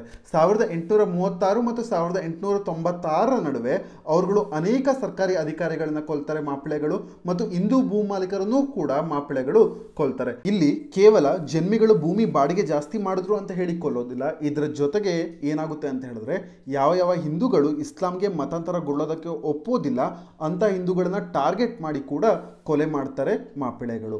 ಇಷ್ಟು ಪಾಯಿಂಟ್ಗಳನ್ನ ನೀವು ಈ ಮಾಪಿಳೆಗಳ ವಿಚಾರವಾಗಿ ಇದರ ಹಿಸ್ಟ್ರಿಯನ್ನು ತಿಳ್ಕೊಂಡಿರಬೇಕಾಗುತ್ತೆ. ಈಗ ಸಾವಿರದ ಒಂಬೈನೂರ ಇಪ್ಪತ್ತೊಂದರ ಮಾಪಿಳೆ ರೆಬಿಲಿಯನ್ ಬಗ್ಗೆ ಮಾತನಾಡೋದಾದರೆ, ಏನಾಗುತ್ತೆ ಸಾವಿರದ ಹತ್ತೊಂಬತ್ತರಲ್ಲಿ ಅಂತ ಹೇಳಿದ್ರೆ, ಖಿಲಾಫತ್ ಮೂವ್ಮೆಂಟ್ ಸ್ಟಾರ್ಟ್ ಆಗುತ್ತೆ. ಖಿಲಾಫತ್ ಮೂವ್ಮೆಂಟ್ನಲ್ಲಿ ಏನಾಗುತ್ತೆ ಅಂತ ಹೇಳಿದ್ರೆ, ಟರ್ಕಿಯಲ್ಲಿ ಕ್ಯಾಲಿಫೇಟನ್ನು ಪುನರ್ಸ್ಥಾಪನೆ ಮಾಡಬೇಕು ಅಂತ ಹೇಳಿ ಖಿಲಾಫತ್ ಚಳುವಳಿಯನ್ನ ಮಾಡ್ತಾರೆ. ಖಿಲಾಫತ್ ಚಳುವಳಿ ಮಾಡೋದಕ್ಕೆ ಮತ್ತೊಂದು ಕಾರಣ ಏನು ಅಂತ ಹೇಳಿದ್ರೆ, ಸಾವಿರದ ಒಂಬೈನೂರ ಹತ್ತೊಂಬತ್ತರ ಸುಮಾರಿನಲ್ಲಿ ಮುಸ್ಲಿಂ ಲೀಗ್ನ ಸಪೋರ್ಟ್ ಬೇಕಾಗಿರುತ್ತೆ ಇಂಡಿಯನ್ ನ್ಯಾಷನಲ್ ಕಾಂಗ್ರೆಸ್ಗೆ. ಆದ ಕಾರಣದಿಂದಾಗಿ ಗಾಂಧೀಜಿಯವರು ಕೂಡ ಖಿಲಾಫತ್ ಮೂವ್ಮೆಂಟ್ ಅನ್ನ ಸಪೋರ್ಟ್ ಮಾಡ್ತಾರೆ. ಈ ಒಂದು ಪಾಯಿಂಟ್ ನೀವು ನೆನ್ಪಿಟ್ಕೊಂಡಿರಿ. ಟರ್ಕಿಯಲ್ಲಿ ಕ್ಯಾಲಿಫೇಟ್ ಅನ್ನ ಪುನರ್ಸ್ಥಾಪನೆ ಮಾಡೋದಕ್ಕೋಸ್ಕರ ಖಿಲಾಫತ್ ಚಳವಳಿ ಸಾವಿರದ ಒಂಬೈನೂರ ಹತ್ತೊಂಬತ್ತರಲ್ಲಿ ನಡೆಯುತ್ತೆ. ಈಗ ಮಲ್ಬಾರ್ನಲ್ಲಿ, ಕೇರಳದಲ್ಲಿರುವಂಥ ಮಲ್ಬಾರ್ ರೀಜನ್ನಲ್ಲಿ ಖಿಲಾಫತ್ ಸಭೆಗಳು ನಡೀತಾ ಇರ್ತವೆ. ಇಂಥ ಸಂದರ್ಭದಲ್ಲಿ ಏನಾಗುತ್ತೆ ಅಂತ ಹೇಳಿದ್ರೆ, ಮೋಪ್ಲಗಳಲ್ಲಿ ಕೋಮು ಭಾವನೆ ಹುಟ್ಟೋದಕ್ಕೆ ಸ್ಟಾರ್ಟ್ ಆಗುತ್ತೆ. ಏಕೆ ಅಂತ ಹೇಳಿದ್ರೆ, ಇದು ಬ್ರಿಟಿಷರ ವಿರುದ್ಧ ಮತ್ತು ಬ್ರಿಟಿಷರು ಜನ್ಮಿಗಳನ್ನು ಸಪೋರ್ಟ್ ಮಾಡ್ತಾ ಇರ್ತಾರೆ. ಮಾಪಿಳೆಗಳನ್ನು ಬಿಟ್ಟು ಜನ್ಮಿಗಳಿಗೆ ಕಂಪ್ಲೀಟ್ ಓನರ್ಶಿಪ್ ರೈಟ್ಸನ್ನು ಭೂಮಿಯ ವಿಚಾರವಾಗಿ ನೀಡಿರ್ತಾರೆ. ಆದ ಕಾರಣದಿಂದಾಗಿ ಮಲಬಾರ್ನಲ್ಲಿ ಈಗ ಖಿಲಾಫತ್ ಸಭೆಗಳು ಮೋಪ್ಲಗಳಲ್ಲಿ ಕೋಮು ಭಾವನೆಯನ್ನು ಹುಟ್ಟಾಕೋದಕ್ಕೆ ಸ್ಟಾರ್ಟ್ ಮಾಡಿರುತ್ತೆ. ಇದೇ ಹಿನ್ನೆಲೆಯಲ್ಲಿ ದೊಡ್ಡ ಪ್ರಮಾಣದ ಹಿಂಸಾಚಾರ ಕೂಡ ಮಲಬಾರ್ ರೀಜನ್ನಲ್ಲಿ ನಡೆಯುತ್ತೆ. ಅದು ಹಿಂದೂಗಳು ಮತ್ತು ಬ್ರಿಟಿಷ್ ಅಧಿಕಾರಿಗಳನ್ನ ವ್ಯವಸ್ಥಿತವಾಗಿ, ಅಂದರೆ ವ್ಯವಸ್ಥಿತವಾಗಿ ಅವರ ವಿರುದ್ಧವಾಗಿ ಕಿರುಕುಳ ನೀಡೋದಕ್ಕೆ ಮಾಪಳೆಗಳು ಮುಂದಾಗ್ತಾರೆ. ಅನೇಕ ಮನೆಗಳು ಮತ್ತು ದೇವಾಲಯಗಳು ಇಂಥ ಸಂದರ್ಭದಲ್ಲಿ ನಾಶವಾಗ್ತವೆ. ಮತ್ತು ದಂಗೆಯ ಪ್ರಮುಖ ನಾಯಕರು ಯಾರಾಗಿರ್ತಾರೆ ಅಂತ ಹೇಳಿದ್ರೆ ಆ ಸಂದರ್ಭದಲ್ಲಿ ಮಾಪಿಳೆ ರೆಬಿಲಿಯನ್ದು ಅಲಿ ಮುಸಲಿಯಾರ್ ಮತ್ತು ಒರಿಯಾಂಕುನಾಥ್ ಕುಂಜ ಅಹಮದ್ ಆಜಿ ಅಂತ ಹೇಳಿ ಇವರಿಬ್ಬರುಗಳು ಈ ಒಂದು ದಂಗೆಯ ಪ್ರಮುಖ ನಾಯಕರಾಗಿರ್ತಾರೆ. ಈ ಒಂದು ಪಾಯಿಂಟ್ ಅನ್ನು ನೀವು ಚೆನ್ನಾಗಿ ಗಮನದಲ್ಲಿ ಇಟ್ಕೊಂಡಿರಬೇಕು. ಈ ದಂಗೆಯ ಪ್ರಮುಖ ನಾಯಕರು ಅಲಿ ಮುಸಲಿಯಾರ್ ಮತ್ತು ಒರಿಯಾಂಕುನಾಥ್ ಕುಂಜ ಅಹಮದ್ ಆಜಿ ಆಗಿರ್ತಾರೆ. ಇವರುಗಳು ಯಾವ ಒಂದು ದಂಗೆಗೆ ಅಸೋಸಿಯೇಟೆಡ್ ಆಗಿರ್ತಾರೆ ಅಂತ ಹೇಳಿ ಫಿಲಿಮ್ಸ್ನಲ್ಲಿ ಕೇಳಿದ್ರೆ ನಿಮಗೆ ಚೆನ್ನಾಗಿ ನೆನಪಿರಬೇಕು. ಮಪಿಲಿಯನ್ ರೆಬಿಲಿಯನ್ ಇದಕ್ಕೆ ಈ ಒಂದು ದಂಗೆಗೆ ಕಾರಣವಾಗಿರ್ತಾರೆ ಅಂತ ಹೇಳಿ. ನಂತರದಲ್ಲಿ ಆಗಸ್ಟ್ ಸಾವಿರದ ಒಂಬೈನೂರ ಇಪ್ಪತ್ತೊಂದರಿಂದ ಆ ಒಂದು ವರ್ಷದ ಅಂತ್ಯದವರೆಗೆ ಮಾಪಿಳೆಗಳು ಮಲ್ಬಾರ್ ರೀಜನ್ನಲ್ಲಿ ದೊಡ್ಡ ದೊಡ್ಡ ಭೂಭಾಗಗಳನ್ನು ಹೊಂದಿರ್ತಾರೆ. ಅವರುಗಳ ನಿಯಂತ್ರಣದಲ್ಲೇ ಇರುತ್ತೆ. ಆದರೆ ನಂತರದ ದಿನಗಳಲ್ಲಿ ಏನಾಗುತ್ತೆ ಅಂತ ಹೇಳಿದ್ರೆ, ಬ್ರಿಟಿಷರು ಒಂದು ಹೊಸ ಬೆಟಾಲಿಯನ್ನ ಒಂದು ವಿಶೇಷ ಪಡೆನ ರಚನೆ ಮಾಡ್ತಾರೆ. ಮಲ್ಬಾರ್ ವಿಶೇಷ ಪಡೆ ಅಂತ ಹೇಳಿ ವಿಶೇಷ ಬೆಟಾಲಿಯನ್ ಇದನ್ನು ಬಳಸ್ಕೊಂಡು ಬ್ರಿಟಿಷರು ಈ ದಂಗೆನ ಹತ್ತಿಕ್ಕೋದ್ರಲ್ಲಿ ಸಕ್ಸಸ್ ಆಗ್ತಾರೆ. ಯಾವ ವರ್ಷದಲ್ಲಿ ಅಂತ ಹೇಳಿದ್ರೆ, ಸಾವಿರದ ಒಂಬೈನೂರ ಇಪ್ಪತ್ತೊಂದರಲ್ಲಿ. ನಂತರದಲ್ಲಿ ನವೆಂಬರ್ ಸಾವಿರದ ಒಂಬೈನೂರ ಇಪ್ಪತ್ತೊಂದರಲ್ಲಿ ಏನಾಗುತ್ತೆ ಅಂತ ಹೇಳಿದ್ರೆ ಅರವತ್ತೇಳು ಮೋಪ್ಲಾ ಕೈದಿಗಳನ್ನು ಮುಚ್ಚಿದ ಸರಕು ವ್ಯಾಗನ್ನಲ್ಲಿ ಸಾಗಣೆ ಮಾಡ್ತಾ ಇರ್ತಾರೆ ಒಂದು ಜೈಲಿಗೆ. ಆ ಸಂದರ್ಭದಲ್ಲಿ ಅವರುಗಳು ಉಸಿರುಗಟ್ಟಿ ಸಾವನ್ನ ಅಪ್ತಾರೆ ಈ ಒಂದು ಘಟನೆಯನ್ನ ವ್ಯಾಗನ್ ದುರಂತ ಅಂತ ಹೇಳಿ ಕರೀತಾರೆ. ವ್ಯಾಗನ್ ಟ್ರಾಜಿಡಿ ಅಂತ ಹೇಳಿ. ವ್ಯಾಗನ್ ಟ್ರಾಜಿಡಿ ಯಾವುದಕ್ಕೆ ಅಸೋಸಿಯೇಟೆಡ್ ಆಗಿದೆ ಅಂತ ಹೇಳಿ ಫಿಲಿಮ್ಸ್ನಲ್ಲಿ ಕೇಳಿದ್ರೆ ಅದು ನಿಮಗೆ ಚೆನ್ನಾಗಿ ನೆನಪಿರಬೇಕು. ಅದು ಮಪಿಳೆ ರಿಬಿಲಿಯನ್ಗೆ ಅಸೋಸಿಯೇಟೆಡ್ ಆಗಿದೆ ಅಥವಾ ರಿಲೇಟೆಡ್ ಆಗಿದೆ ಅಂತ ಹೇಳಿ ನಿಮಗೆ ನೆನಪಿರಬೇಕು. ಇಷ್ಟು ಈ ಒಂದು ಮಪಿಳೆ ರಿಬಿಲಿಯನ್ನ ಬಗ್ಗೆ ನೀವು ತಿಳ್ಕೊಂಡಿರಬೇಕಾದಂಥ ಪಾಯಿಂಟ್ಸ್ಗಳಾಗಿದ್ದಾವೆ ಇಲ್ಲಿ ಮುಖ್ಯವಾಗಿ ನಿಮಗೆ ನೆನಪಿರಬೇಕು, ಸಾವಿರದ ಒಂಬೈನೂರ ಹತ್ತೊಂಬತ್ತರ ಪ್ರಾರಂಭದಲ್ಲಿ ಟರ್ಕಿಯಲ್ಲಿ ಕೆಲಿಫೆಟನ್ನು ಪುನರ್ಸ್ಥಾಪನೆ ಮಾಡೋದಕ್ಕೋಸ್ಕರ ಖಿಲಾಫತ್ ಚಳವಳಿ ಭಾರತದಲ್ಲಿ ಆರಂಭವಾಗುತ್ತೆ. ಆ ಸಂದರ್ಭದಲ್ಲಿ ಮಲ್ಬಾರ್ ರೀಜನಲ್ಲೂ ಕೂಡ ಖಿಲಾಫತ್ ಸಭೆಗಳು ನಡೆಯುತ್ತೆ. ಈ ಖಿಲಾಫತ್ ಸಭೆಗಳು ಮೋಪ್ಲಗಳಲ್ಲಿ ಕೋಮು ಭಾವನೆಯನ್ನು ಹುಟ್ಟಾಕೋದಕ್ಕೆ ಪ್ರಾರಂಭ ಮಾಡ್ತವೆ. ಇಲ್ಲಿ ಬ್ರಿಟಿಷರ ವಿರುದ್ಧ ಚರ್ಚೆ ನಡಿಬೇಕಾಗಿತ್ತು. ಆದರೆ ಬ್ರಿಟಿಷರು ಜನ್ಮಿಗಳನ್ನ ಸಪೋರ್ಟ್ ಮಾಡ್ತಿದ್ದಂಥ ಕಾರಣದಿಂದಾಗಿ ಈ ಒಂದು ಸಭೆಯಲ್ಲಿ ಏನಾಗ್ತಿರುತ್ತೆ ಅಂತ ಹೇಳಿದ್ರೆ ಕೋಮುವಾದ ಸ್ಟಾರ್ಟ್ ಆಗುತ್ತೆ. ಈ ಒಂದು ಪಾಯಿಂಟ್ ನಿಮಗೆ ನೆನಪಿರಬೇಕು. ಇದರ ಹಿನ್ನೆಲೆಯಲ್ಲಿ ಹಿಂಸಾಚಾರ ಜಾಸ್ತಿ ಆಗುವಂಥದ್ದು ನಂತರದ ದಿನಗಳಲ್ಲಿ ಹಿಂದೂ ಮತ್ತು ಬ್ರಿಟಿಷ್ ಅಧಿಕಾರಿಗಳನ್ನ ವ್ಯವಸ್ಥಿತವಾಗಿ ಕೊಲ್ಲುವಂಥದ್ದು. ಈ ಕಾರಣಕ್ಕಾಗಿ ಬ್ರಿಟಿಷರು ಏನು ಮಾಡ್ತಾರೆ ಅಂತ ಹೇಳಿದ್ರೆ ಅವರೊಂದು ಹೊಸ ಸ್ಪೆಷಲ್ ಬೆಟಾಲಿಯನ್ ರೈಸ್ ಮಾಡ್ತಾರೆ. ಇದು ಮಲಬಾರ್ ಸ್ಪೆಷಲ್ ಫೋರ್ಸ್ ಅಂತ ಹೇಳಿ ಕರೆಸ್ಕೊಳುತ್ತೆ ಇದರ ಮುಖಾಂತರವಾಗಿ ಮಾಪಿಳೆಗಳನ್ನು ಹತ್ತಿಕ್ತಾರೆ. ನಂತರದಲ್ಲಿ ಸಾವಿರದ ಒಂಬೈನೂರ ಇಪ್ಪತ್ತೊಂದರಲ್ಲಿ ಇನ್ನೊಂದು ಟ್ರಾಜಿಡಿ ಬಗ್ಗೆ ಮಾತನಾಡಿದ್ವಿ. ವೇಗನ್ ಟ್ರಾಜಿಡಿ ಅಂತ ಹೇಳಿ ಅರವತ್ತೇಳು ಮಾಪಿಳೆ ಪ್ರಿಸನರ್ಸ್ಗಳನ್ನು ಜೈಲಿಗೆ ಸಾಗಿಸ್ತಿರುವಂಥ ಸಂದರ್ಭದಲ್ಲಿ ವ್ಯಾಗನ್ ಮುಚ್ಚಿದ ವ್ಯಾಗನ್ ಆಗಿರುತ್ತೆ. ಆದ ಕಾರಣದಿಂದಾಗಿ ಅವರುಗಳು ಉಸಿರುಗಟ್ಟಿ ಸಾವನ್ನಪ್ತಾರೆ. ಈ ಒಂದು ಘಟನೆಯನ್ನು ವ್ಯಾಗನ್ ದುರಂತ ಅಥವಾ ವ್ಯಾಗನ್ ಟ್ರಾಜಿಡಿ ಅಂತ ಹೇಳಿ ಕರಿತೀವಿ. ಇಷ್ಟು ಪಾಯಿಂಟ್ಸ್ಗಳನ್ನ ನೀವು ಮಪಿಳೆ ರಿಬಿಲಿಯನ್ ಬಗ್ಗೆ ತಿಳ್ಕೊಂಡಿರಬೇಕಾಗುತ್ತೆ. ನಂತರದಲ್ಲಿ ಈ ಒಂದು ಆರ್ಟಿಕಲ್ನ ಹಿನ್ನೆಲೆಯಲ್ಲಿ ನೀವು ಅಬ್ಸರ್ವ್ ಮಾಡಬೇಕಾದಂಥದ್ದು ಏನು ಅಂತ ಹೇಳಿದ್ರೆ ಈ ಒಂದು ಟಾಪಿಕ್ನ ಹಿನ್ನೆಲೆಯಲ್ಲಿ ಮಪಿಳೆ ರಿಬಿಲಿಯನ್ ಅನ್ನುವಂಥದ್ದು ಕಮ್ಯುನಲ್ ಎಲಿಮೆಂಟ್ ಹೊಂದಿದ್ರಿಂದನೇ ಫೇಲ್ಯೂರ್ ಆಗಿದೆ ಅಂತಲೇ ಹೇಳ್ಬೋದು. ಏಕೆ ಅಂತ ಹೇಳಿದ್ರೆ, ಈ ಒಂದು ಮಪಳೆ ರಿಬಿಲಿಯನ್ ಬ್ರಿಟಿಷರ ವಿರುದ್ಧ ನಡಿಬೇಕಾಗಿತ್ತು. ಆದರೆ ಇದು ನಂತರದ ದಿನಗಳಲ್ಲಿ ಆ್ಯಂಟಿ ಹಿಂದೂ ಮೂವ್ಮೆಂಟ್ ಆಗಿ ಕನ್ವರ್ಟ್ ಆಗುತ್ತೆ. ಆದ ಕಾರಣದಿಂದಾಗಿ ಮಪ್ಪಳೆ ರಿಬಿಲಿಯನ್ ಸೋತೋಗುತ್ತೆ ಅಂತಾನೆ ಹೇಳ್ಬೋದು. ಮತ್ತು ಇಲ್ಲಿ ಮತ್ತೊಂದು ಪಾಯಿಂಟ್ ಏನು ಅಂತ ಹೇಳಿದ್ರೆ ಬ್ರೂಟಲ್ ವೈಲೆನ್ಸ್ ಆಗಿರ್ಬೋದು, ಕ್ರೂರ ಹಿಂಸಾಚಾರ, ನಂತರದಲ್ಲಿ ವೈಡ್ ಸ್ಪ್ರೆಡ್ ಫೋರ್ಸ್ಫುಲ್ ಕನ್ವರ್ಷನ್ ಅಂದರೆ ವ್ಯಾಪಕವಾದ ಬಲವಂತದ ಮತಾಂತರಗಳು ಮತ್ತು ಆಸ್ತಿ ನಾಶ ಅಂದರೆ ಪ್ರಾಪರ್ಟಿ ಡಿಸ್ಟ್ರಕ್ಷನ್ ಪ್ರೋಸೆಸ್ಗಳಾಗಿರ್ಬೋದು ಇವೆಲ್ಲವೂ ಕೂಡ ಮಪಿಳೆ ರಿಬಿಲಿಯನ್ನಲ್ಲಿ ಬರೋದ್ರಿಂದ ಇಲ್ಲಿ ಅರ್ಥವಾಗುತ್ತೆ ನಮಗೆ. ಇಲ್ಲಿ ವರ್ಗ ಸಂಘರ್ಷಕ್ಕಿಂತ ಅಂದರೆ ವರ್ಗ ಸಂಘರ್ಷ ಅಂತ ಹೇಳಿದ್ರೆ ಇಂಗ್ಲೀಷ್ನಲ್ಲಿ ಏನು ಹೇಳ್ತೀವಿ ಅಂತ ಹೇಳಿದ್ರೆ ಕ್ಲಾಸ್ ಕನ್ಫ್ಲಿಕ್ಟ್ಗಿಂತ ರಿಲಿಜಿಯಸ್ ಕನ್ಫ್ಲಿಕ್ಟ್ ಇರುವಂಥದ್ದು ನಮಗೆ ಇಲ್ಲಿ ಕಾಣುತ್ತೆ. ಈ ಒಂದು ಪಾಯಿಂಟ್ನ ಕೂಡ ನೀವು ನೆನ್ಪಿಟ್ಕೊಂಡಿರಿ. ಯಾವ ರೀತಿಯಲ್ಲಿ ಕ್ಲಾಸ್ ಕನ್ಫ್ಲಿಕ್ಟ್ ಅಂದರೆ ಭೂ ಮಾಲೀಕ ಮತ್ತು ರೈತರ ವಿರುದ್ಧ ಇದ್ದಂಥ ಚಳುವಳಿ ಹಿಂದೂ ಮತ್ತು ಮುಸ್ಲಿಂ ಅಂದರೆ ರಿಲಿಜಿಯಸ್ ಕಲರ್ಸ್ನ ಯಾವ ರೀತಿಯಲ್ಲಿ ಪಡ್ಕೊಳುತ್ತೆ ಅನ್ನೋದ್ರ ಬಗ್ಗೆ ಮಾತಾಡ್ತಿರ್ಬೇಕಾದ್ರೆ ಈ ಮಾಪಿಲಾ ದಂಗೆಯನ್ನು ಕೂಡ ನೀವು ವಿಸ್ತಾರವಾಗಿ ಮೆನ್ಷನ್ ಮಾಡ್ಬೋದು. ನಂತರದಲ್ಲಿ ಈ ಒಂದು ನ್ಯೂಸ್ ಪೇಪರ್ ಆರ್ಟಿಕಲ್ನ ಚರ್ಚೆಗೆ ಮುಂದುವರೆದಿದೆ. ಆದರೆ ಈ ಒಂದು ಆರ್ಟಿಕಲ್ನಲ್ಲಿ ಏನು ಹೇಳ್ತಿದ್ದಾರೆ ಅಂತ ಹೇಳಿದ್ರೆ ನಾನು ಮೊದಲನೇದಾಗಿ ಹೇಳಿದಂತೆ ಈ ಒಂದು ಟಾಪಿಕ್ ಯಾಕೆ ನ್ಯೂಸ್ನಲ್ಲಿದೆ ಅಂತ ಹೇಳಿದ್ರೆ ಇದಕ್ಕೆ ಮುಂದಿನ ವರ್ಷಕ್ಕೆ ಈ ಒಂದು ಮಪಿಳೆ ರಿಬಿಲಿಯನ್ಗೆ ನೂರು ವರ್ಷ ಆಗುತ್ತೆ.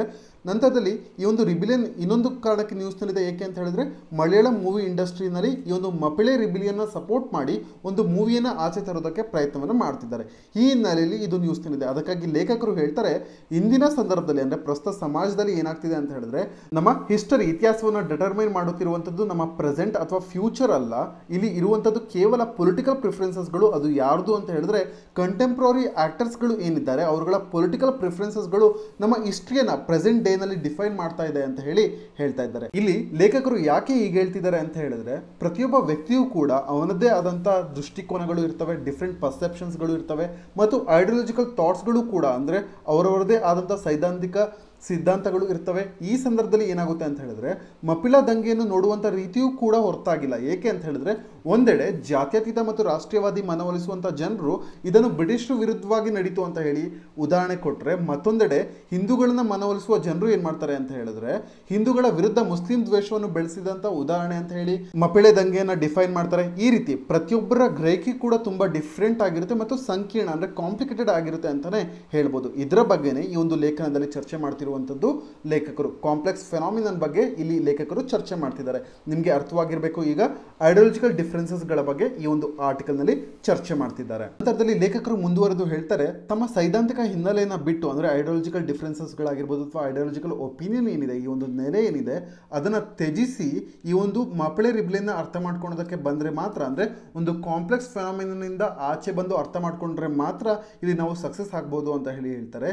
ಏಕೆ ಅಂತ ಹೇಳಿದ್ರೆ, ಈ ಒಂದು ಆರ್ಟಿಕಲ್ನ ಬಗ್ಗೆ, ಅಂದರೆ ಮಪಳೆ ರಿಬಿಲಿಯನ್ ಬಗ್ಗೆ ಮಾತನಾಡ್ತಿರ್ಬೇಕಾದ್ರೆ ನಾವಿಲ್ಲಿ ಗಮನದಲ್ಲಿ ಇಟ್ಕೊಂಡಿರ್ಬೋದು, ಇದೊಂದು ಪ್ರಮುಖ ಐತಿಹಾಸಿಕ ಘಟನೆ ಆಗಿದೆ. ಇದರಲ್ಲಿ ಕೇವಲ ಸಾಮಾಜಿಕವಾಗಿ ಆರ್ಥಿಕವಾಗಿ ಮತ್ತು ರಾಜಕೀಯ ಅಂಶಗಳಿಂದ ಅಂದರೆ ಪೊಲಿಟಿಕಲ್ ಎಕನಾಮಿಕಲ್ ಸೋಷಿಯಲ್ ಲೆವೆಲಿಂದ ಮಾತ್ರ ಅಬ್ಸರ್ವ್ ಮಾಡಿದ್ರೆ ಸಾಕಾಗೋದಿಲ್ಲ. ಈ ಒಂದು ಹಿಸ್ಟೋರಿಕಲ್ ಇವೆಂಟ್ಗೆ ಬೇರೆ ಬೇರೆ ಮಲ್ಟಿಪಲ್ ಕಾಸಸ್ಗಳು ಇದ್ದಾವೆ ಫಾರ್ ಎಕ್ಸಾಂಪಲ್ ಹೇಳೋದಾದರೆ ಎಕನಾಮಿಕ್ ಡಿಸ್ಟ್ರೆಸ್ ಆಗಿರ್ಬೋದು ಅಂದರೆ ಆರ್ಥಿಕ ಸಂಕಷ್ಟವಾಗಿರ್ಬೋದು ಅಥವಾ ವಿದೇಶಿ ಆಡಳಿತ ವಿರುದ್ಧ ಇದ್ದಂಥ ಕೋಪವಾಗಿರ್ಬೋದು ಆ ಸಂದರ್ಭದಲ್ಲಿ. ಮತ್ತು ಭೂ ಮಾಲೀಕತ್ವದ ಬಗ್ಗೆ, ಅಂದರೆ ಜೆನ್ಮಿಸ್ಗಳ ಕೈಲಿ ಇದ್ದಂಥ ಭೂಮಿ ನಂತರದಲ್ಲಿ ಮಾಪಿಳೆ ಕೈ ಸೇರುತ್ತೆ, ನಂತರದಲ್ಲಿ ಮತ್ತೆ ಮಾಪಿಳೆ ಕೈಯಿಂದ ಜೆನ್ಮಿಸ್ಗಳ ಕೈಗೆ ಸೇರುತ್ತೆ ಭೂಮಿಯ ಮಾಲೀಕತ್ವ. ಈ ರೀತಿಯಲ್ಲಿ ಭೂಮಿಯ ಮಾಲೀಕತ್ವದ ವಿಚಾರದಲ್ಲಿ ಇದ್ದಂಥ ತೊಂದರೆಗಳು ಕೂಡ ಆಗಿರ್ಬೋದು. ಇವೆಲ್ಲವೂ ಸೇರಿ ಈ ಒಂದು ಮಾಪಿಳೆ ರಿಬಿಲಿಯನ್ ಆಗಿದೆ. ಆದ ಕಾರಣದಿಂದಾಗಿ ಈ ಒಂದು ಈವೆಂಟನ್ನು ಕೇವಲ ಸೋಷಿಯಲ್ ಎಕನಾಮಿಕ್ ಮತ್ತು ಪೊಲಿಟಿಕಲ್ ಪರ್ಸ್ಪೆಕ್ಟಿವಿಂದ ಮಾತ್ರ ನೋಡಿದ್ರೆ ಸಾಕುವುದಿಲ್ಲ ಇದಕ್ಕೆ ಕಾರಣವಾಗುವಂಥ ಹಲವಾರು ಮಲ್ಟಿಪಲ್ ಫ್ಯಾಕ್ಟರ್ಸ್ಗಳನ್ನು ಕೂಡ ಕನ್ಸಿಡರೇಷನ್ಗೆ ತಗೊಬೇಕಾಗುತ್ತೆ ಅಂತ ಹೇಳಿ ಈ ಒಂದು ಆರ್ಟಿಕಲ್ನಲ್ಲಿ ಚರ್ಚೆ ಮಾಡ್ತಿದ್ದಾರೆ. ಇಲ್ಲಿ ನೀವು ಮುಖ್ಯವಾಗಿ ನೆನ್ಪಿಟ್ಕೊಂಡಿರ್ಬೇಕಾದಂಥದ್ದು ಮಪ್ಪಿಳೆ ರಿಬ್ಲಿನ್ ಯಾವ ರೀತಿಯಲ್ಲಿ ಆಗುತ್ತೆ ಅಂತ ಹೇಳಿ ನಂತರದಲ್ಲಿ ಅಬ್ಸರ್ವ್ ಮಾಡಬೇಕಾದಂಥ ಥಿಯರಿ, ಥೀಸಿಸ್ ಏನು ಅಂತ ಹೇಳಿದ್ರೆ ವರ್ಗ ವರ್ಗಗಳ ನಡುವೆ ಅಂದ್ರೆ ಕ್ಲಾಸ್ ಕನ್ಫ್ಲಿಕ್ಟ್ ಆಗಿ ಇದ್ದಂಥ ವಿಷಯ ಯಾವ ರೀತಿಯಲ್ಲಿ ರಿಲಿಜಿಯಸ್ ಕನ್ಫ್ಲಿಕ್ಟ್ ಆಗಿ, ಧರ್ಮ, ಧರ್ಮಗಳ ನಡುವೆ ಸಂಘರ್ಷವಾಗಿ ಚೇಂಜ್ ಆಗುತ್ತೆ ಅನ್ನೋದನ್ನ ನಾವಿಲ್ಲಿ ಅಬ್ಸರ್ವ್ ಮಾಡಬೇಕಾಗುತ್ತೆ. ಇಷ್ಟು ಪಾಯಿಂಟ್ಸ್ಗಳನ್ನ ನೀವು ಒಂದು ಕಡೆ ನೋಟ್ಸ್ ಮಾಡಿ ಇಟ್ಕೊಂಡಿರಿ. ನಮ್ಮ ಎಕ್ಸಾಮಿನೇಷನ್ ಪಾಯಿಂಟ್ ಆಫ್ ಇಂದ especially G S one topic ಕೆಳಗಡೆ ಮಾಡರ್ನ್ ಹಿಸ್ಟ್ರಿ ಕೆಳಗಡೆ ಬರೋದ್ರಿಂದ ಇದು ನಮಗೆ ಮೇನ್ಸ್ ಪಾಯಿಂಟ್ ಆಫ್ ಇಂದನೂ ಇಂಪಾರ್ಟೆಂಟ್ ಆಗುತ್ತೆ.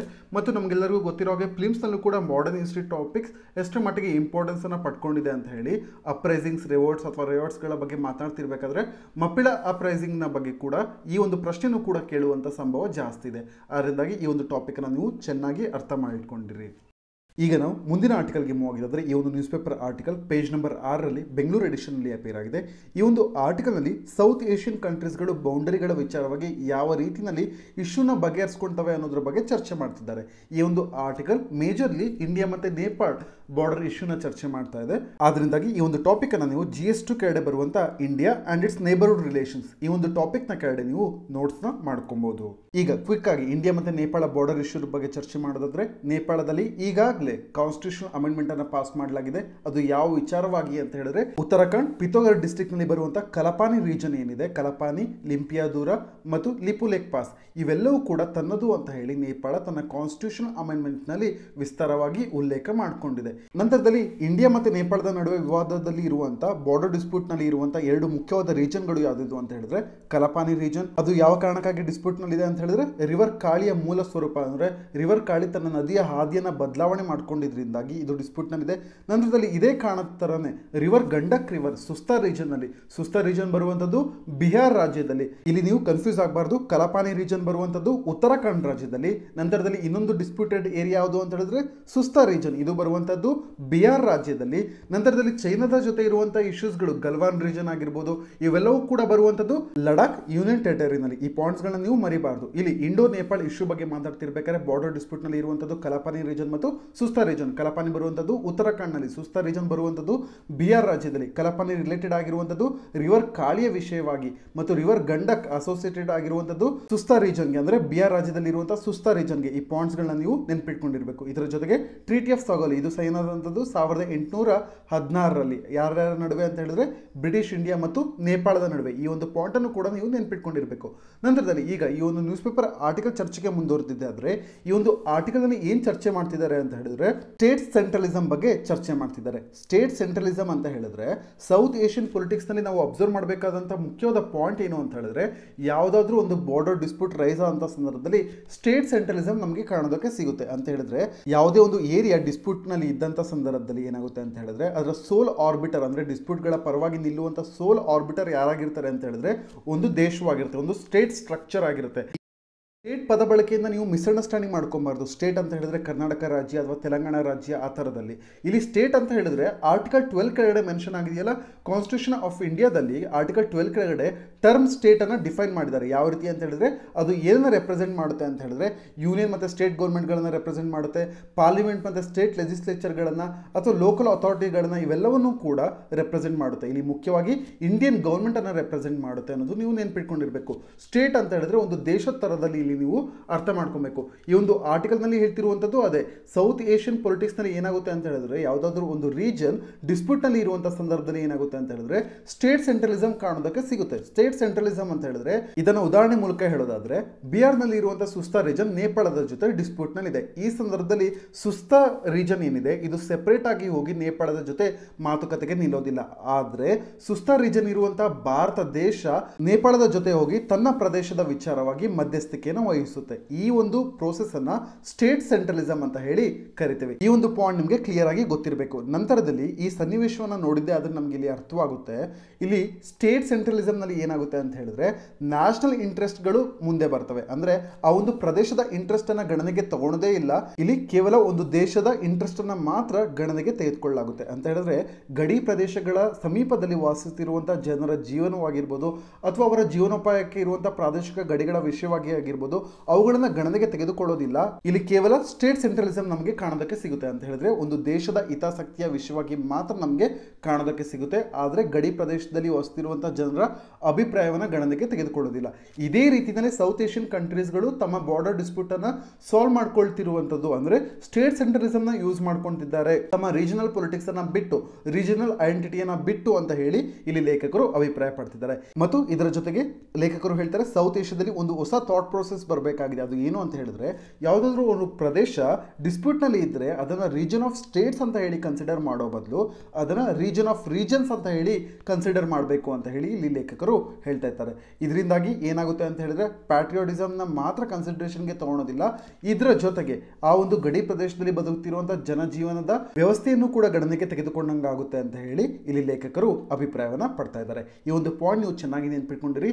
ಯಾವ ಥಾಟ್ ಪ್ರೊಸೆಸ್ ಬರಬೇಕಾಗಿದೆ ಅಂತ ಹೇಳಿದ್ರೆ ರೀಜನ್ ಆಫ್ ಸ್ಟೇಟ್ಸ್ ಅಂತ ಹೇಳಿ ಕನ್ಸಿಡರ್ ಮಾಡೋ ಬದಲು ರೀಜನ್ ಆಫ್ ರೀಜನ್ಸ್ ಅಂತ ಹೇಳಿ, ಅಂದ್ರೆ ಲೋಕಲ್ ಒಪಿನಿಯನ್ಗೆ ನಾವು ಬೆಲೆನ ಕೊಡಬೇಕು, ಒಂದು ನ್ಯಾಷನಲ್ ಇಂಟ್ರೆಸ್ಟ್ ಅನ್ನ ಬಿಟ್ಟು ಅಂತ ಹೇಳಿ ಇಲ್ಲಿ ಲೇಖಕರು ತಮ್ಮ ಅಭಿಪ್ರಾಯವನ್ನ ತಿಳಿಸ್ತಾ ಇದ್ದಾರೆ. ಅಂದ್ರೆ ರೀಜನಲ್ ಐಡೆಂಟಿಟಿ ಮತ್ತು ರೀಜನಲ್ ಪೊಲಿಟಿಕ್ಸ್ ಇವುಗಳಿಗೆ ತುಂಬಾ ಇಂಪಾರ್ಟೆನ್ಸ್ ಅನ್ನ ಕೊಡಬೇಕು ಅಂತ ಹೇಳಿ ಲೇಖಕರು ಹೇಳ್ತಾ ಇದ್ದಾರೆ.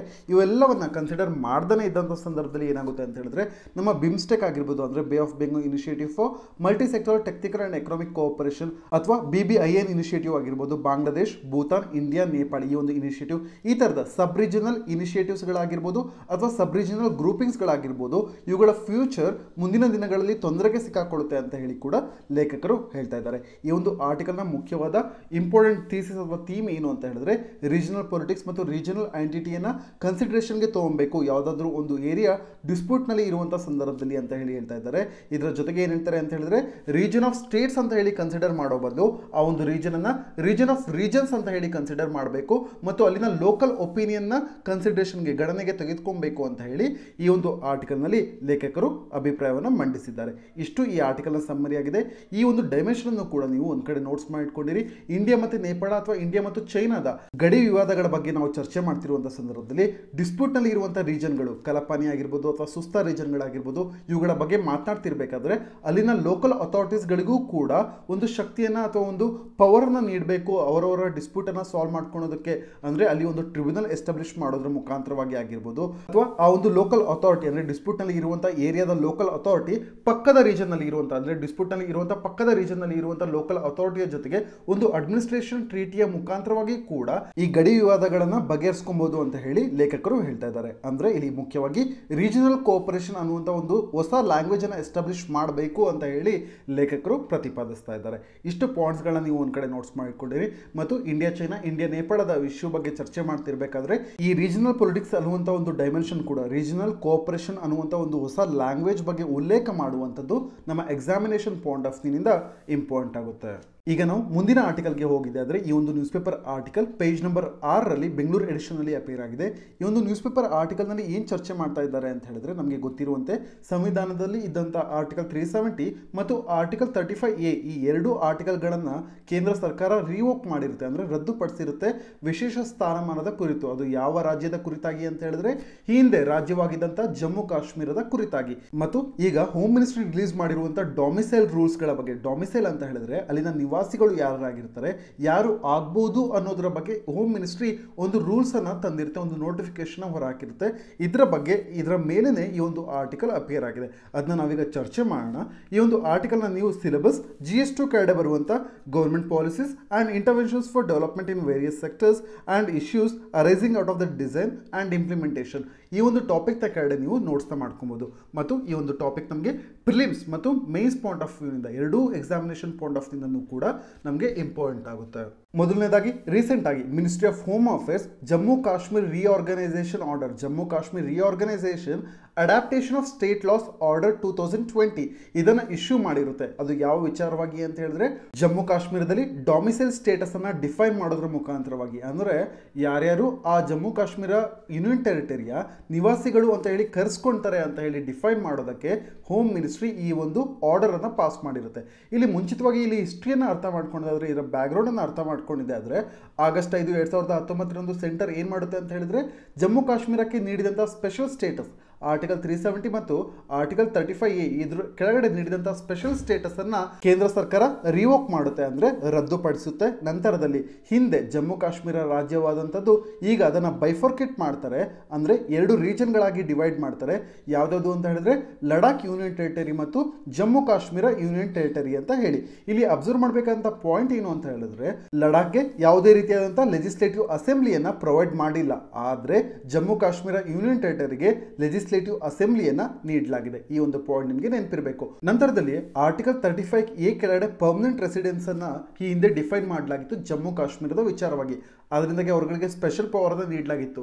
ಮತ್ತು ಯಾರ್ಯಾರ ಮೇಲೆ ರಿಸ್ಟ್ರಿಕ್ಷನ್ ಹಾಕಲಾಗಿತ್ತು ಅಂತ ಹೇಳಿದ್ರೆ, ಬೇರೆ ಹೊರ ರಾಜ್ಯದಿಂದ ಹೋದಂಥವ್ರಿಗೆ ಲ್ಯಾಂಡ್ ಪರ್ಚೇಸಿಂಗ್ ಅಂದರೆ ಅಲ್ಲಿನ ಭೂಮಿನ ಖರೀದಿ ಮಾಡ್ಕೊಳ್ಳೋದಕ್ಕೆ ಆಗ್ತಿರ್ಲಿಲ್ಲ. ಮತ್ತು ಎಂಪ್ಲಾಯ್ಮೆಂಟ್ ಅಥವಾ ಎಜುಕೇಷನ್ ರೈಟ್ಸ್ಗಳನ್ನು ಕೂಡ ಹೊರಗಿನ ಜನಕ್ಕೆ ನೀಡ್ತಾ ಇರಲಿಲ್ಲ. ಪರ್ಮನೆಂಟ್ ರೆಸಿಡೆನ್ಸ್ಗಳಿಗೆ ಮಾತ್ರ ಈ ಎಲ್ಲ ರೈಟ್ಸ್ಗಳು ಇದ್ವು. ಆದರೆ ಈಗ ಕೇಂದ್ರ ಸರ್ಕಾರ ಏನು ಮಾಡ್ತಿದೆ ಅಂತ ಹೇಳಿದ್ರೆ ಹೊಸ ಡೊಮಿಸೈಲ್ ರೂಲ್ಸ್ ಅನ್ನು ತರ್ತಾ ಇದೆ.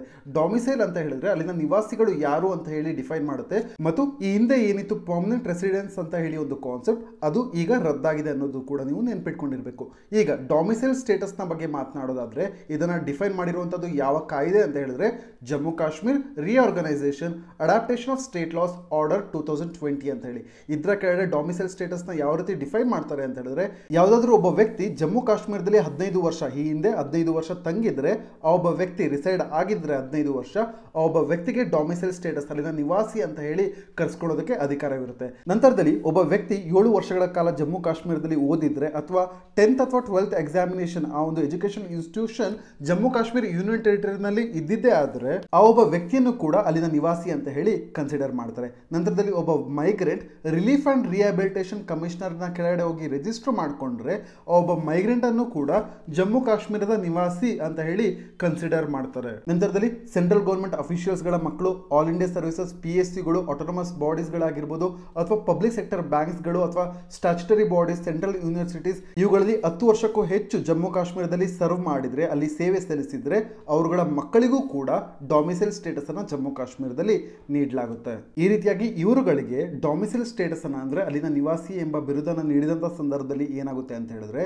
ಜಮ್ಮು ಕಾಶ್ಮೀರದಲ್ಲಿ ಮೊದಲನೇದಾಗಿ ಅಲ್ಲಿನ ಡೆಮೋಗ್ರಫಿಯಲ್ಲಿ ಅಂದರೆ ಜನಸಂಖ್ಯೆ ನೀತಿಯಲ್ಲಿ ಬದಲಾವಣೆ ಕಾಣುತ್ತೆ.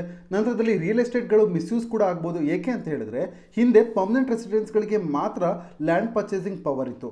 ಆದರೆ ಈಗ ರಿಯಲ್ ಎಸ್ಟೇಟ್ನಲ್ಲಿ ಈ ಉದ್ಯಮದಲ್ಲಿ ತೊಡಗಿದಂಥ ಜನರು ಕೂಡ ಜಮ್ಮು ಕಾಶ್ಮೀರದಲ್ಲಿ ಲ್ಯಾಂಡ್ ಪರ್ಚೇಸ್ಗೆ ಮುಂದಾದಂಥ ಸಂದರ್ಭದಲ್ಲಿ ಅಲ್ಲಿ ಲ್ಯಾಂಡ್ ಮಿಸ್ಯೂಸ್ ಆಗುವಂಥ ಚಾನ್ಸಸ್ ಇದೆ. ಅಂದರೆ ಕಮರ್ಷಿಯಲೈಸೇಷನ್ ಜಾಸ್ತಿ ಆಗುವಂಥ ಚಾನ್ಸಸ್ ಇದೆ. ಇದು ಒಂದು ಕನ್ಸರ್ನ್ ಆಗುತ್ತೆ.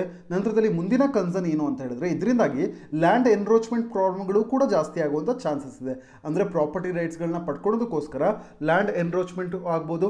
ನಂತರದಲ್ಲಿ ನಾನ್ ಲೋಕಲ್ಸ್ಗಳು ಯಾರಿದ್ದಾರೆ ಅವರುಗಳಿಗೆ ಈ ಒಂದು ಪ್ರದೇಶದಲ್ಲಿ, ಜಮ್ಮು ಕಾಶ್ಮೀರದಲ್ಲಿ ಮುಂದೆ ಜಾಬ್ಸ್ ಮತ್ತು ಲ್ಯಾಂಡ್ ಪರ್ಚೇಸಿಂಗ್ ಪವರ್ ಸಿಗುತ್ತೆ. ಜಾಬ್ಸ್ಗಳನ್ನು ಕೂಡ ಪಡ್ಕೊಳ್ಳುವಂಥ ಪವರ್ ಸಿಗುತ್ತೆ.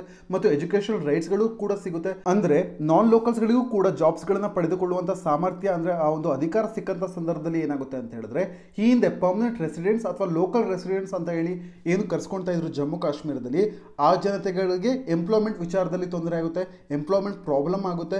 ಆದ್ರಿಂದಲೇ ಈಗ ಜಮ್ಮು ಕಾಶ್ಮೀರದ ಜನತೆ, Jammu Kashmir reorganisation adaptation of state laws order two thousand twenty ಇದರ ಕೆಳಗಡೆ ಡಿಫೈನ್ ಮಾಡಿರುವಂಥ ಡೊಮಿಸೈಲ್ ಸ್ಟೇಟಸ್ನ ವಿಚಾರವಾಗಿ ಇದು ಇನ್ಅಪ್ರೋಪ್ರಿಯೇಟ್ ಆಗಿದೆ ಮತ್ತು ಇನ್ಸೆನ್ಸಿಟಿವ್ ಆಗಿದೆ ಅಂತ ಹೇಳಿ ಹೇಳ್ತಾ ಇದ್ದಾರೆ. ಇಷ್ಟು ಈ ಒಂದು ಆರ್ಟಿಕಲ್ನ ಸಮ್ಮರಿ ಆಗಿದೆ. ಇಲ್ಲಿ ಮುಖ್ಯವಾಗಿ ನೀವು ನೆನ್ಪಿಟ್ಕೊಂಡಿರಬೇಕಾದಂಥದ್ದು Jammu Kashmir reorganisation order two thousand twenty ಇದರ ಕಡೆ ಯಾರ್ಯಾರನ್ನ ಡಾಮಿಸೈಲ್ ಅಂತ ಹೇಳಿ ಅಲ್ಲಿನ ನಿವಾಸಿಗಳು ಅಂತ ಹೇಳಿ ಐಡೆಂಟಿಫೈ ಮಾಡ್ತಾರೆ ಅನ್ನುವಂಥ ಒಂದು ಪಾಯಿಂಟನ್ನು ನೆನಪಿಟ್ಕೊಂಡಿರಬೇಕು. ಮತ್ತು ಕನ್ಸರ್ನ್ಸ್ಗಳ ಬಗ್ಗೆ ಕೂಡ ನಿಮಗೆ ನೆನಪಿರಬೇಕು. ಮೊದಲೇದಾಗಿ ಡೆಮೋಗ್ರಫಿ ಆಲ್ಟರ್ ಆಗುತ್ತೆ, ಮತ್ತು ರಿಯಲ್ ಎಸ್ಟೇಟ್ ಮಿಸ್ಯೂಸ್ ಆಗುವಂಥ ಚಾನ್ಸಸ್ ಜಾಸ್ತಿ ಇದೆ. ಲ್ಯಾಂಡ್ ಎನ್ರೋಚ್ಮೆಂಟ್ ಆಗ್ಬೋದು. ನಂತರದಲ್ಲಿ ನಾನ್ ಲೋಕಲ್ಸ್ಗಳಿಗೆ ಲ್ಯಾಂಡ್ ಪರ್ಚೇಸ್ ಅಥವಾ ಎಂಪ್ಲಾಯ್ಮೆಂಟ್ ಪಡ್ಕೊಳ್ಳುವಂಥ ಅಧಿಕಾರ ಸಿಕ್ಕಂಥ ಸಂದರ್ಭದಲ್ಲಿ ಲೋಕಲ್ಸ್ಗಳಿಗೆ ಅಂದರೆ ಹಿಂದೆ ಪರ್ಮನೆಂಟ್ ರೆಸಿಡೆನ್ಸ್ ಅಂತ ಏನು ಕರ್ಸ್ಕೊಳ್ತಾ ಇದ್ರು, ಅವ್ರುಗಳಿಗೆ ಎಂಪ್ಲಾಯ್ಮೆಂಟ್ ವಿಚಾರದಲ್ಲಿ ತೊಂದರೆ ಆಗ್ಬೋದು. ಇಷ್ಟು ಪಾಯಿಂಟ್ಸ್ಗಳನ್ನ ನೀವು ನೆನ್ಪಿಟ್ಕೊಂಡಿರ್ಬೇಕಾದ್ರೆ ಇದನ್ನು ಒಂದು ಕಡೆ ನೋಟ್ಸ್ ಮಾಡಿಟ್ಕೊಂಡಿರಿ. ಇದರ ಬಗ್ಗೆ ಮತ್ತಷ್ಟು ಆರ್ಟಿಕಲ್ ಬಂದಾಗ ಇನ್ನು ದೀರ್ಘವಾಗಿ ಚರ್ಚೆ ಮಾಡೋಣ. ಈಗ ನಾವು ಇವತ್ತಿನ ಫಿಲಿಮ್ಸ್ ಪ್ರಾಕ್ಟೀಸ್ ಕ್ವಶನ್ಸ್ಗಳಿಗೆ ಮೂವ್ ಆಗಿದ್ದಾದರೆ ಮೊದಲನೇ ಪ್ರಶ್ನೆಯನ್ನು ಡಿಸ್ಪ್ಯೂಟೆಡ್ ಏರಿಯಾಸ್ಗಳ ಬಗ್ಗೆ ಕೇಳಿದ್ದಾರೆ. ಡಿಸ್ಪ್ಯೂಟೆಡ್ ಏರಿಯಾಸ್ಗಳನ್ನು ಕೊಟ್ಟು, ವಿವಾದದಲ್ಲಿ ಇರುವಂಥ ಜಾಗಗಳನ್ನು ಕೊಟ್ಟು ಅದು ಯಾವ ಕಂಟ್ರಿಯ ಜೊತೆ ಅಸೋಸಿಯೇಟೆಡ್ ಆಗಿದೆ ಇನ್ವಾಲ್ವ್ ಆಗಿದೆ ಅಂತ ಹೇಳಿ ಕೇಳ್ತಾ ಇದ್ದಾರೆ. ಈ ಒಂದು ಪ್ರಶ್ನೆಗೆ ನೀವು ಸರಿಯಾದ ಉತ್ತರವನ್ನು ತಿಳಿಸಿ. ನಂತರದಲ್ಲಿ ಎರಡನೇ ಪ್ರಶ್ನೆಯನ್ನು ಎಕ್ಸಾಟಿಕ್ ಅನಿಮಲ್ ಟ್ರೇಡ್ಗಳ ವಿಷಯವಾಗಿ, ಅಂದರೆ ಎಕ್ಸಾಟಿಕ್ ಅನಿಮಲ್ ಸ್ಪೀಷೀಸ್ಗಳನ್ನು ಭಾರತ ದೇಶಕ್ಕೆ ಹೊರ ದೇಶದಿಂದ ಆಮದು ಮಾಡಿಕೊಳ್ಳುವಂಥ ಸಂದರ್ಭದಲ್ಲಿ ಯಾವ ಯಾವ ರೂಲ್ಸ್ಗಳನ್ನು ಫಾಲೋ ಮಾಡಬೇಕಾಗುತ್ತೆ ಅದರ ವಿಚಾರವಾಗಿ ಇಲ್ಲಿ ಎರಡು ಸ್ಟೇಟ್ಮೆಂಟನ್ನು ಕೊಟ್ಟಿದ್ದಾರೆ. ನೀವು ಈ ಒಂದು ಪ್ರಶ್ನೆಗೂ ಕೂಡ ಎಕ್ಸಾಟಿಕ್ ಅನಿಮಲ್ ಟ್ರೇಡ್ನ ವಿಷಯವಾಗಿ ಕೇಳಿರುವಂಥ ಪ್ರಶ್ನೆಗೆ ಸರಿಯಾದ ಉತ್ತರವನ್ನು ಕಮೆಂಟ್ ಸೆಕ್ಷನಲ್ಲಿ ತಿಳಿಸಿ. ಉತ್ತರವನ್ನು ತಿಳಿಸುವಂಥ ಸಂದರ್ಭದಲ್ಲಿ ಎರಡೂ ಪ್ರಶ್ನೆಗಳಿಗೂ ಕ್ವಶನ್ ನಂಬರ್ ಹಾಕೋದನ್ನು ಮರಿಬೇಡಿ. ಇಷ್ಟು ಹೊತ್ತು ಈ ಒಂದು ಡಿಸ್ಕಷನ್ನಲ್ಲಿ ಪಾಲ್ಗೊಂಡಿದ್ದಕ್ಕೆ ಧನ್ಯವಾದಗಳು. Thank you for watching.